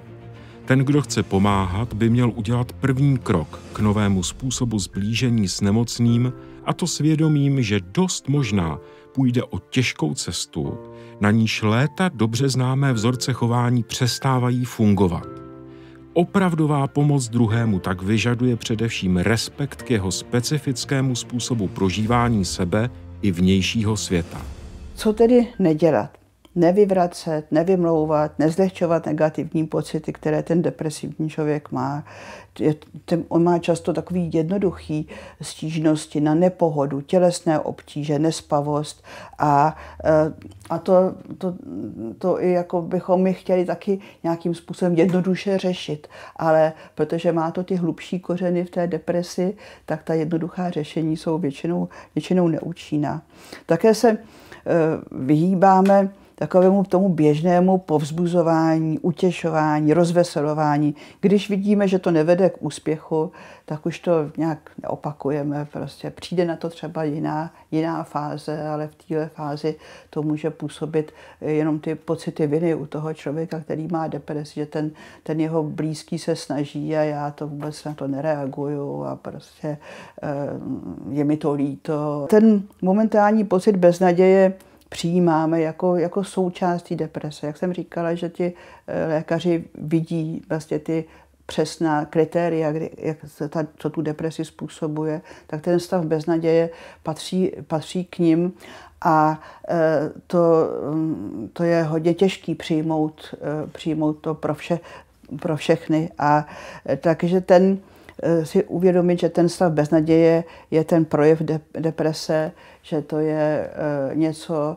co nemůže nikdo ovlivnit a tak realisticky se s tím nějak jako asi vyrovnávat a taky očekávat, že to jednou skončí tohleto, což většinou, většinou to tak je v těch rodinách, tak e, nás to nutí jak povzbudit toho svého blízkého, aby pozbíral ty vlastní síly a vůli a e, neříkat mu teda, aby se nějak přemohl, aby se trochu snažil, že když budeme trochu chtít, takže to půjde, že mu pomůžeme. No, e, většinou ani tohle to nefunguje, ale spíš co, co funguje, dát mu Eh, najevo, že nejde o selhávání, že když prostě něco nemůže, tak prostě eh, to není vlastně jeho vina, že to není jeho slabost, eh, že za ten, že za ten současný stav nemůže. Znova opakuje, deprese je nemoc a ta má, i, i ta má prostě nějaká, nějaká svá pravidla.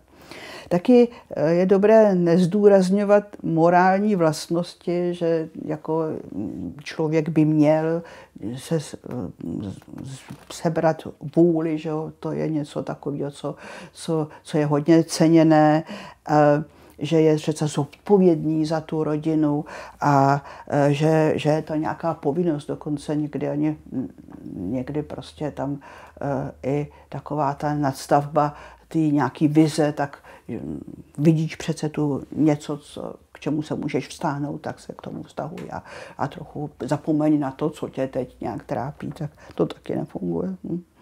Ale je důležité to, co ještě můžeme udělat, uh, uvědomit si, Eh, že jsou úkoly, na který ten eh, depresivní člověk prostě momentálně nestačí. Že to mohou být úplně běžné, banální věci a uh, ale že ale třeba na něco, něco mu jde, na něco stačí, tak v tom ho podpoříme a eh, v tom, co, na co nestačí, tak mu s tím prostě pomůžeme. Může to být i třeba eh, cesta k doktorovi nebo cesta nějak mm, pomo- pro pomoc nebo úplně jednoduché, u jednoduché věci, které patří k nějakým takovým jenom úplně běžným těm lidským činnostem, tak i, ty, i v tom někdy ty lidé potřebují pomoc, a, ale e, vlastně takovou jakoby empatickou, to, tou podpůrnou. Tak je důležité nenechat se znejistit tím, že partner na všechno reaguje negativně. Ehm, je to prostě součást zase té deprese, nevyčítáme, nekritizujeme, nedevalvujeme. Člověk v depresi je často přecitlivý a i když třeba měl kdysi smysl pro humor, tak ho úplně ztrácí a i tam potom toho svého blízkého uh, nepoznáme.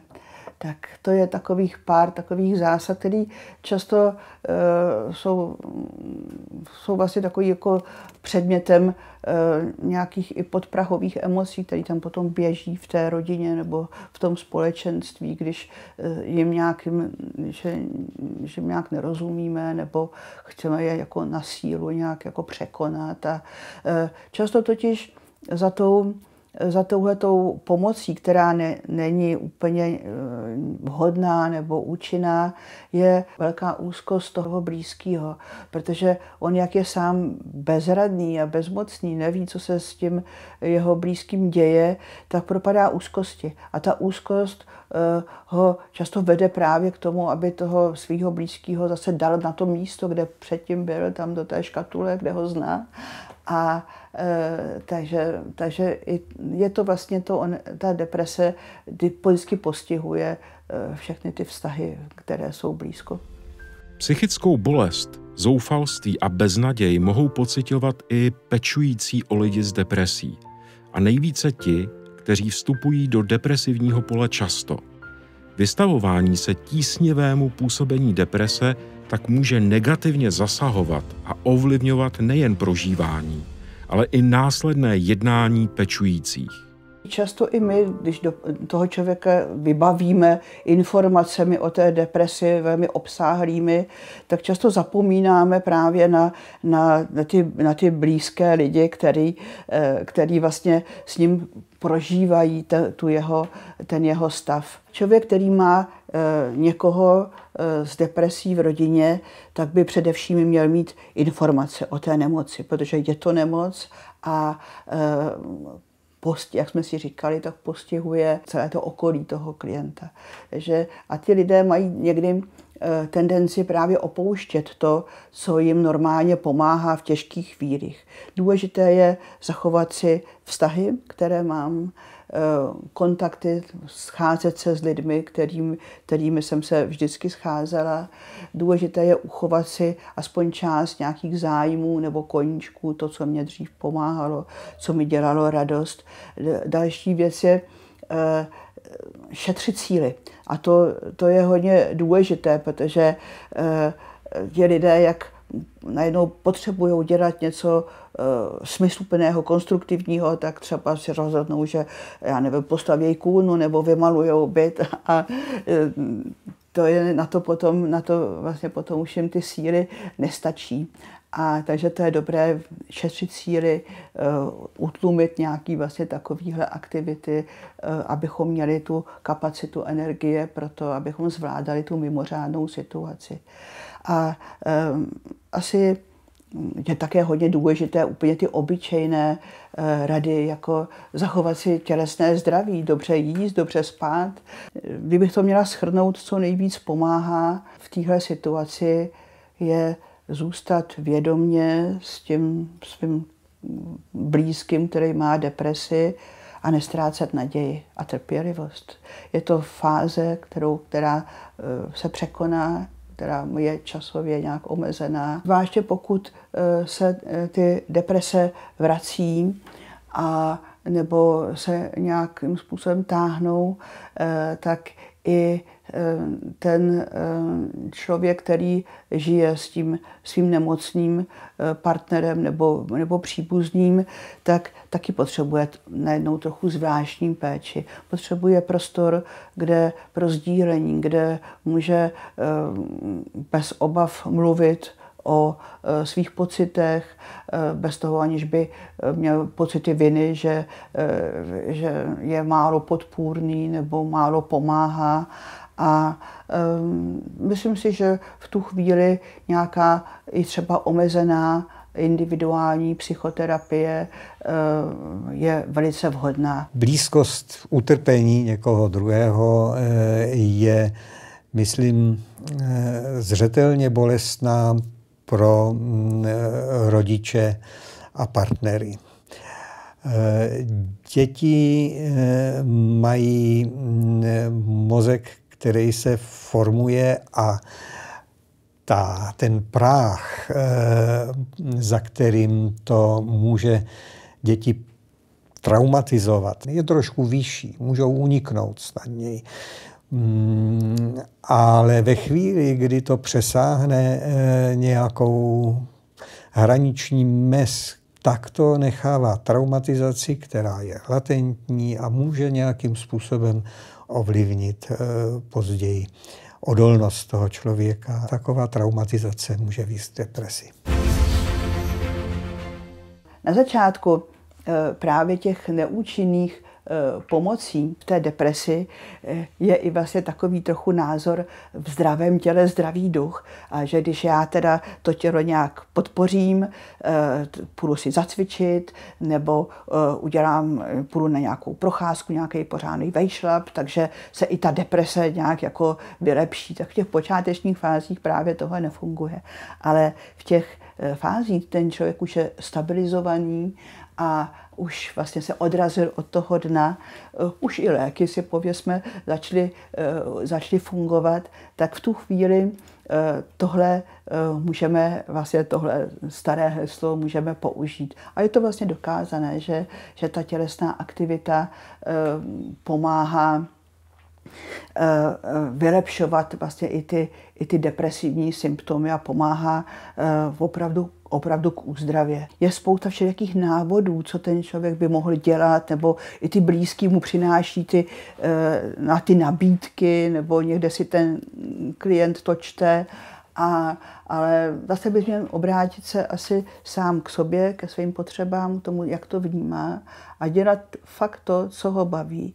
A e, někdy ti lidé, kteří se dostali třeba do deprese, e, i s tím aspektem přepracování a přetížení organismu, eh, tak mají někdy tendenci sklouznout zase zpátky do toho, jo, už je mi líp, tak teď zase začnu trénovat na ten maraton nebo začnu si zase zvedat ty železa, tak eh, na to, na to je někdy pozor si to říct, bát, aby, aby nesklouznul zase do toho původního toxického vzorce. Ale jinak eh, je to, je to vlastně jedno ta škála je obrovská od procházek po nějaké cvičení, kdysi eh, v léčebně v Jeseníku se deprese léčily tancem, takže všechny tyhle možnosti, možnosti jsou a eh, je dobré je, je dobré je využívat. Takovou možná takovou zvláštní eh, ještě možností nebo odvětvím psychoterapie jsou masáže a ty dokážou v této fázi hodně pomáhat, protože deprese je onemocnění, které se tak zakusuje opravdu až jako do morku kosti, až do hlouby toho těla, tak nějaká eh, jemná práce, eh, většinou to splňuje tenhle požadavek, nějaká takzvaná biodynamická masáž, pomáhá eh, rozvolňovat ty zatuhlé struktury, ty, ty staženiny a e, může to být velmi úlevné. Co můžeme udělat opravdu z takových těch praktických věcí? Tak samozřejmě e, pobyt na čerstvém vzduchu, pobyt venku, protože na tom sluníčku jsme závislí víc, než si myslíme, protože i ta hladina serotoninu, melatoninu souvisí se, se sluneční aktivitou. Eh, takže eh, proto třeba dost často eh, bývaly, nebo dřív bývaly víc patrné ty mm, podzimní deprese a jarní deprese, kdy vlastně toho mm, denního světla je méně. Tady můžeme použít to, že účinná léčba deprese je fototerapie, kdy samozřejmě jsou speciální lampy, které eh, vlastně simulují to, to sluneční světlo a ta kůra eh, tady v těch obdobích, kdy třeba ty sezónní deprese se projevují, tak, tak může být kůra 10-12 sezení a vlastně předejdeme rozvoji té depresivní fáze. Dost často si lidé už tady ty lampy třeba kupují domů a svítí si každé ráno od podzimu do jara, aby se vlastně nasimulovali dostatek toho slunečního světla. Takže tady to můžeme udělat. Samozřejmě další je dostatek pohybu. Kdo běhá, chodí, tak samozřejmě je to nejen pro, pro mm, eh, depresi eh, v rámci eh, těch, těch životních opatření důležité, ale samozřejmě i co se týká demencí, tak, tak ta tělesná aktivita je hodně důležitá, kdo chodí pravidelně cvičit a nemusí to být nějaká posilovna. Stačí opravdu jakýkoliv pohyb, protažení, tak pohyb, který člověku dělá radost, může to být tanec, podle toho každý podle svého zaměření, tak všechno tady to vlastně s tím souvisí. V této souvislosti je dobré vědět, že pobyt v zeleni prokazatelně snižuje stres, což na jedné straně znamená pozitivní dopad na zmírnění příznaků deprese a pocitů úzkosti, a na straně druhé preventivní působení v oblasti rozvoje deprese. Nemusí jít rovnou o pobyt v lese, ale postačí procházky v městském parku. Dobrému psychickému stavu pomáhá i racionalizace jídelníčku – Strava by měla přinášet nejen pestrost, ale také radost. A rozhodně ne drastická omezení. Cest k udržení si psychického zdraví po odeznění deprese je nespočet. A dobrou inspirací může být i kniha psychiatra Jiřího Rabocha s názvem Duševní zdraví a životní styl. Ostatně rozhovor s profesorem Rabochem o životním stylu najdete mezi našimi videi podobně jako samostatný díl života zazdí o práci s tělem nebo o terapii zelení. I kdybychom pominuli všechna tato doporučení, jedno bychom měli mít na paměti vždy. Do výbavy člověka, který prodělal depresi, by mělo patřit neignorování stresového zatížení a ve chvílích, kdy jeho příliš, také umění zvolnit. Cest, jak toho docílit, je řada a nejsou nijak náročné nevyžadují žádnou chytrou elektroniku ani složité postupy, jen trochu práce s vlastním tělem a myšlenkami. Deprese je nemoc, která se nedá překonat vůli, takže představa, že eh, budu běhat, když ráno nejsem schopná ani vylézt z postele, protože v noci je narušená vlastně ta architektura spánku a v noci ten člověk vůbec nespí, probudí se naprosto neodpočinutý, tak představa, že bude běhat. V téhle fázi určitě ne ale ve chvíli, kdy už je mu lépe, tak samozřejmě i tady ty životní, eh, nastavené životní aktivity jsou hodně důležité, ten denní režim. Já jsem měl v životě situace, kde jsem jako navštívil kolegy a kde jsem s nimi řešil. A bylo to jakoby věci, které jako se mi vrátily myslím si, že, že to je zajímavé, že jak jsem starší, tak se mi vrátily nějaké rané věci úplně, které si myslím, že souvisely s velkou úzkostí mojí mámy. A, a myslím si, že v určitých situacích, a na to jsem díky terapii nahlédnul, a dal, dalo mi to smysl, že vlastně ten smutek, dejme tomu ten žal, prostě souvisí, který byl vyvolán, dejme tomu, nějakým rozchodem s partnerkou, souvisí s nějakými mými velmi ranými uh, zkušenostmi právě v tom, v tom vztahu s mojí, s mojí mámou. Čili si pomáhám tak, že prostě někoho vyhledám a, a snažím se to jednak sdílet a snažím se tomu nějak jako porozumět a nemám iluzi o tom, že to bude trvat krátkou dobu třeba. Jestli sám jsem někdy smutný, tak jsem někdy smutný i z únavy nebo, nebo ze zahlcení, ale i z toho, že, že opravdu musím mít nějakou duševní hygienu, to znamená velmi si dělit ten čas na soukromí, a na práci, protože eh, já potřebuju vlastně jakoby nějaký čas, kde s těma klientama ty emoce prostě nezdílím. A ten čas prostě musí být chráněný. To znamená, že já si je nemůžu, nemůžu dávat telefon domů, nemůžu si je brát během dovolený.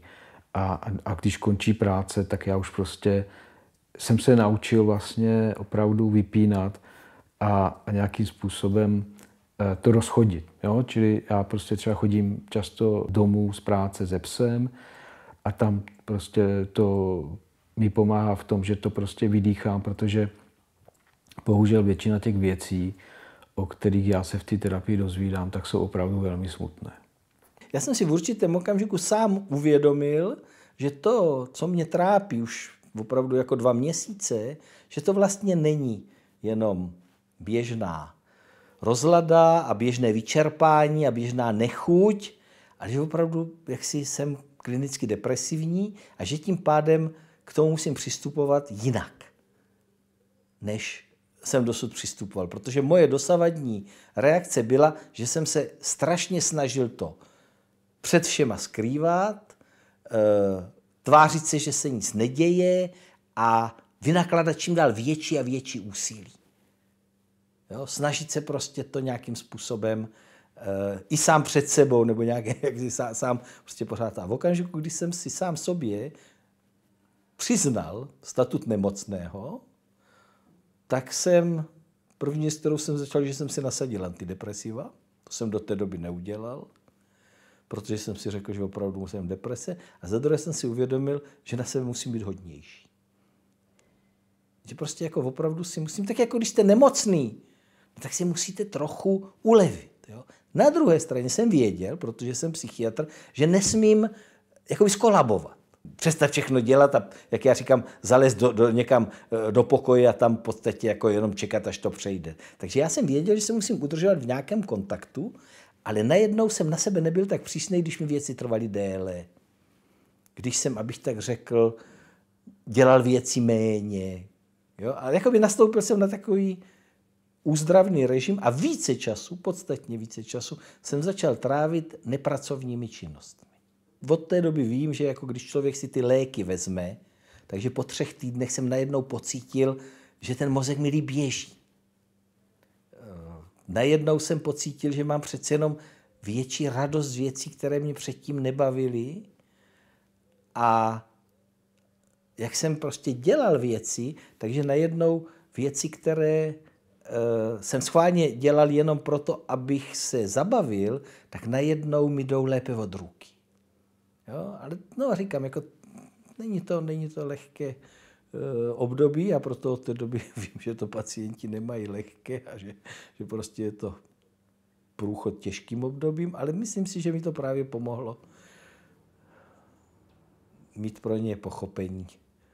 Tak pokud bych já u sebe pozoroval to, že jsem v nějaké jako smutné, skleslé náladě, že jsem hodně jako vyčerpaný, nebo že přestávám vidět ve věcích jakoby smysl, tak samozřejmě v první řadě bych asi přemýšlel nad tím, jestli je v tom životě něco, co mě hodně tíží, co mě hodně trápí, jestli je tam něco, co se třeba změnilo v poslední době a co bych mohl nějak ovlivnit.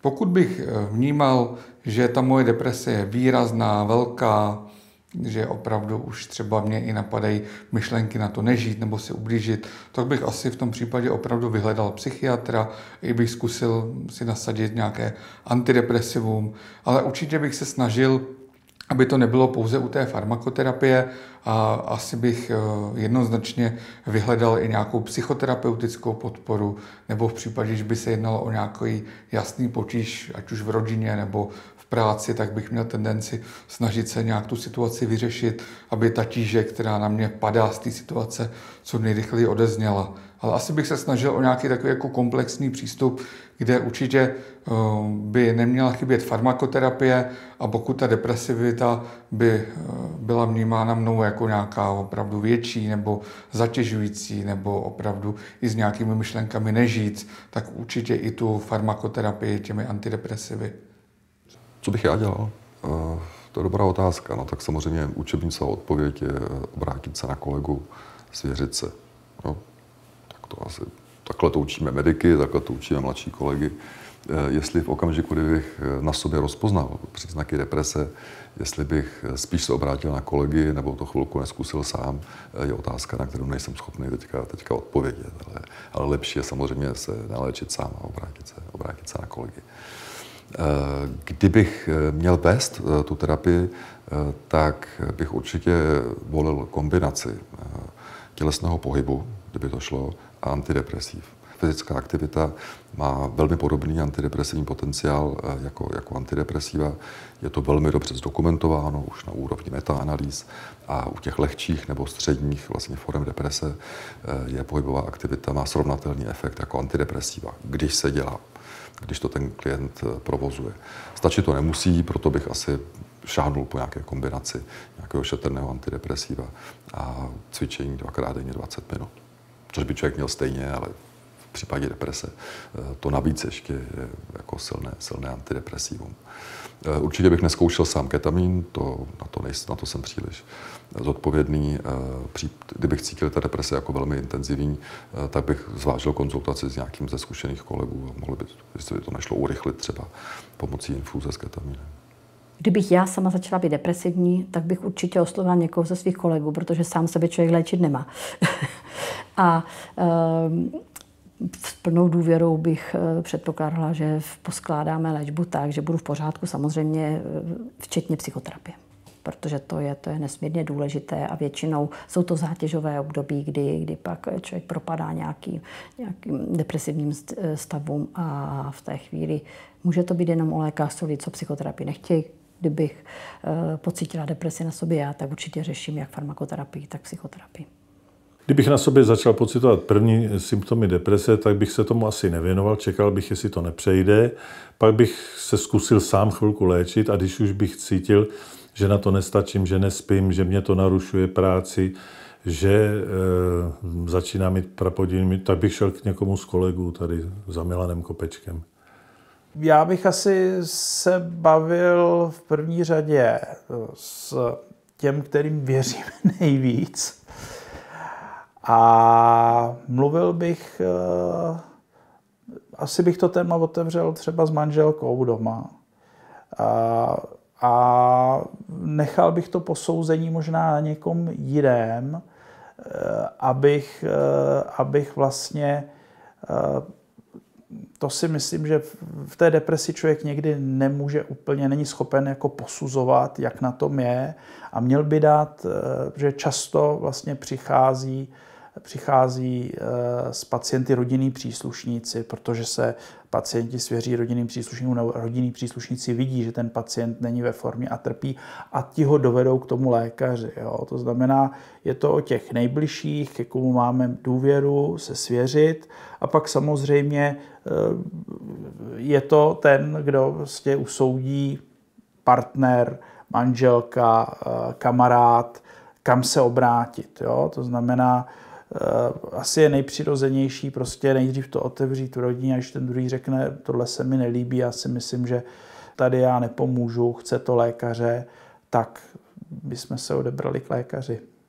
Co já bych dělala, kdybych, kdybych cítila, že na mě jde deprese?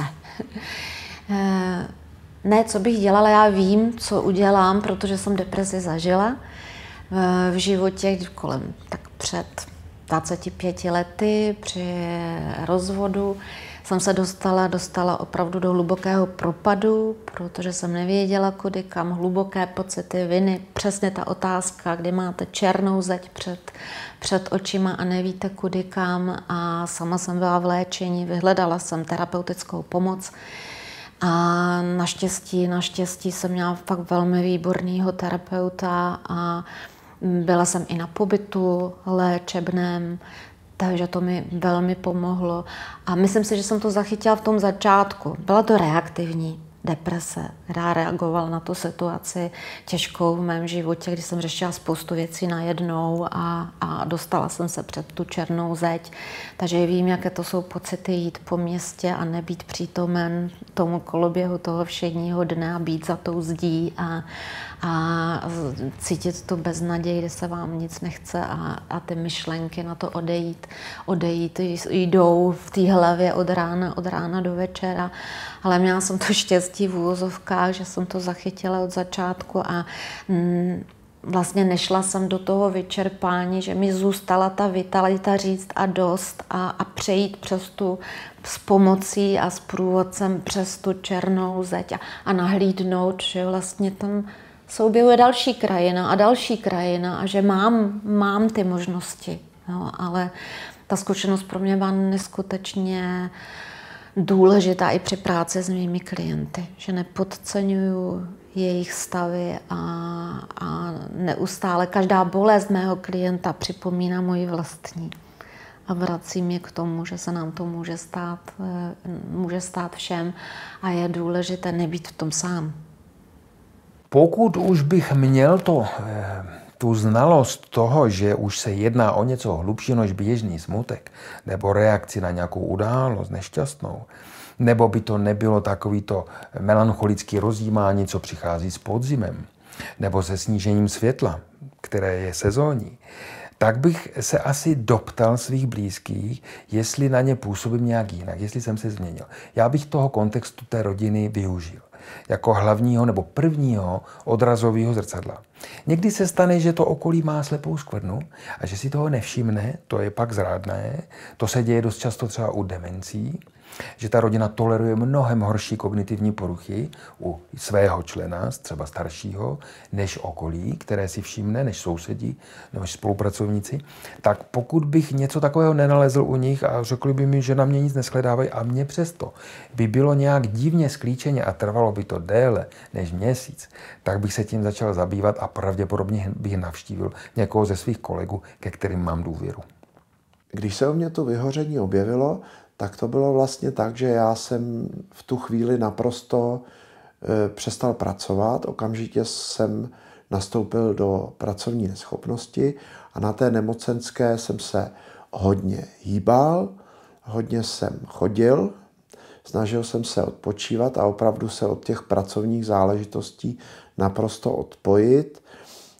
Tehdy vlastně jsme jsem dostal i nějaký lék, takže tam se opravdu mohlo skutečně jednat o nějakou depresivní ataku, prostě mírné deprese. A e, vlastně jsem se snažil jako přemýšlet o sobě, reflektovat to, co se mi stalo, proč se mi to stalo, ale bez nějakých jako, jako výrazných výčitek, jo, abych si prostě nějak výrazně jako nevyčítal, že jsem, že jsem to s tou prací přehnal. A takže to jsem se snažil dost reflektovat a vlastně jsem začal hledat koníčky, začal jsem hledat eh, nějaké svoje životní poslání. Nakonec jsem je objevil. Objevil jsem je v tom, že se snažím poznatky neurovědy nějak využít pro běžný život, pro rozvoj lidí, pro rozvoj týmů. Takže to je takové to moje dlouhodobé poslání, které se mi zároveň stalo vlastně koníčkem. No, dřív bych říkal, vzal bych si trošku seropramu, ale protože vím, že se musí brát půl roku, tak bych asi nad tím dlouho váhal. Ale dneska, dneska um, protože se to stává s přibývajícíma letama trošinku jaksi aktuálnější. To je rizikový, rizikový období. Spoustu věcí člověk musí, musí opustit, musí se s nima rozloučit a s některýma novýma je konfrontovaný. Může být v situaci, kdy má k lidem, který znal daleko, anebo už ani nejsou. A e, v tom případě e, bych asi e, se snažil nějakým způsobem napravit tuhle tu situaci.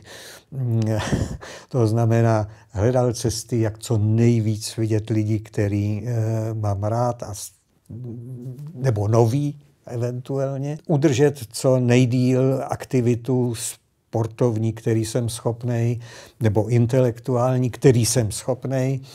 A e, naučit se, že to nemusí být to, co dřív, ale že přesto je spousta věcí, které můžu začít dělat teď, nově a dělat je. Já e, si myslím, že to pro tyhle, tyhle ty formy mm, počínající takzvaný počínající je lepší než ten seroprav. Tady je nutný říct něco, že o těžké depresi se špatně mluví psychiatrovi, protože on, on ví kde co, ale jaký je ten prožitek, to e, se snažíme vyčíst eh, z literatury, kterou píšou lidi, kteří to zažili. William Styron třeba. Mm, eh, a ty umějí popsat něco, co sami označují za nepochopitelný z hlediska zdravého člověka, protože ta hloubka ztráty motivace a ztráty zájmu je v běžném životě řídká velice tak letmá, že ji lidi nepostřehnou, kdežto ta deprese, to je trvalá nebo dlouho trvající epizoda eh, něčeho, co tedy je za hranicema normálního prožívání.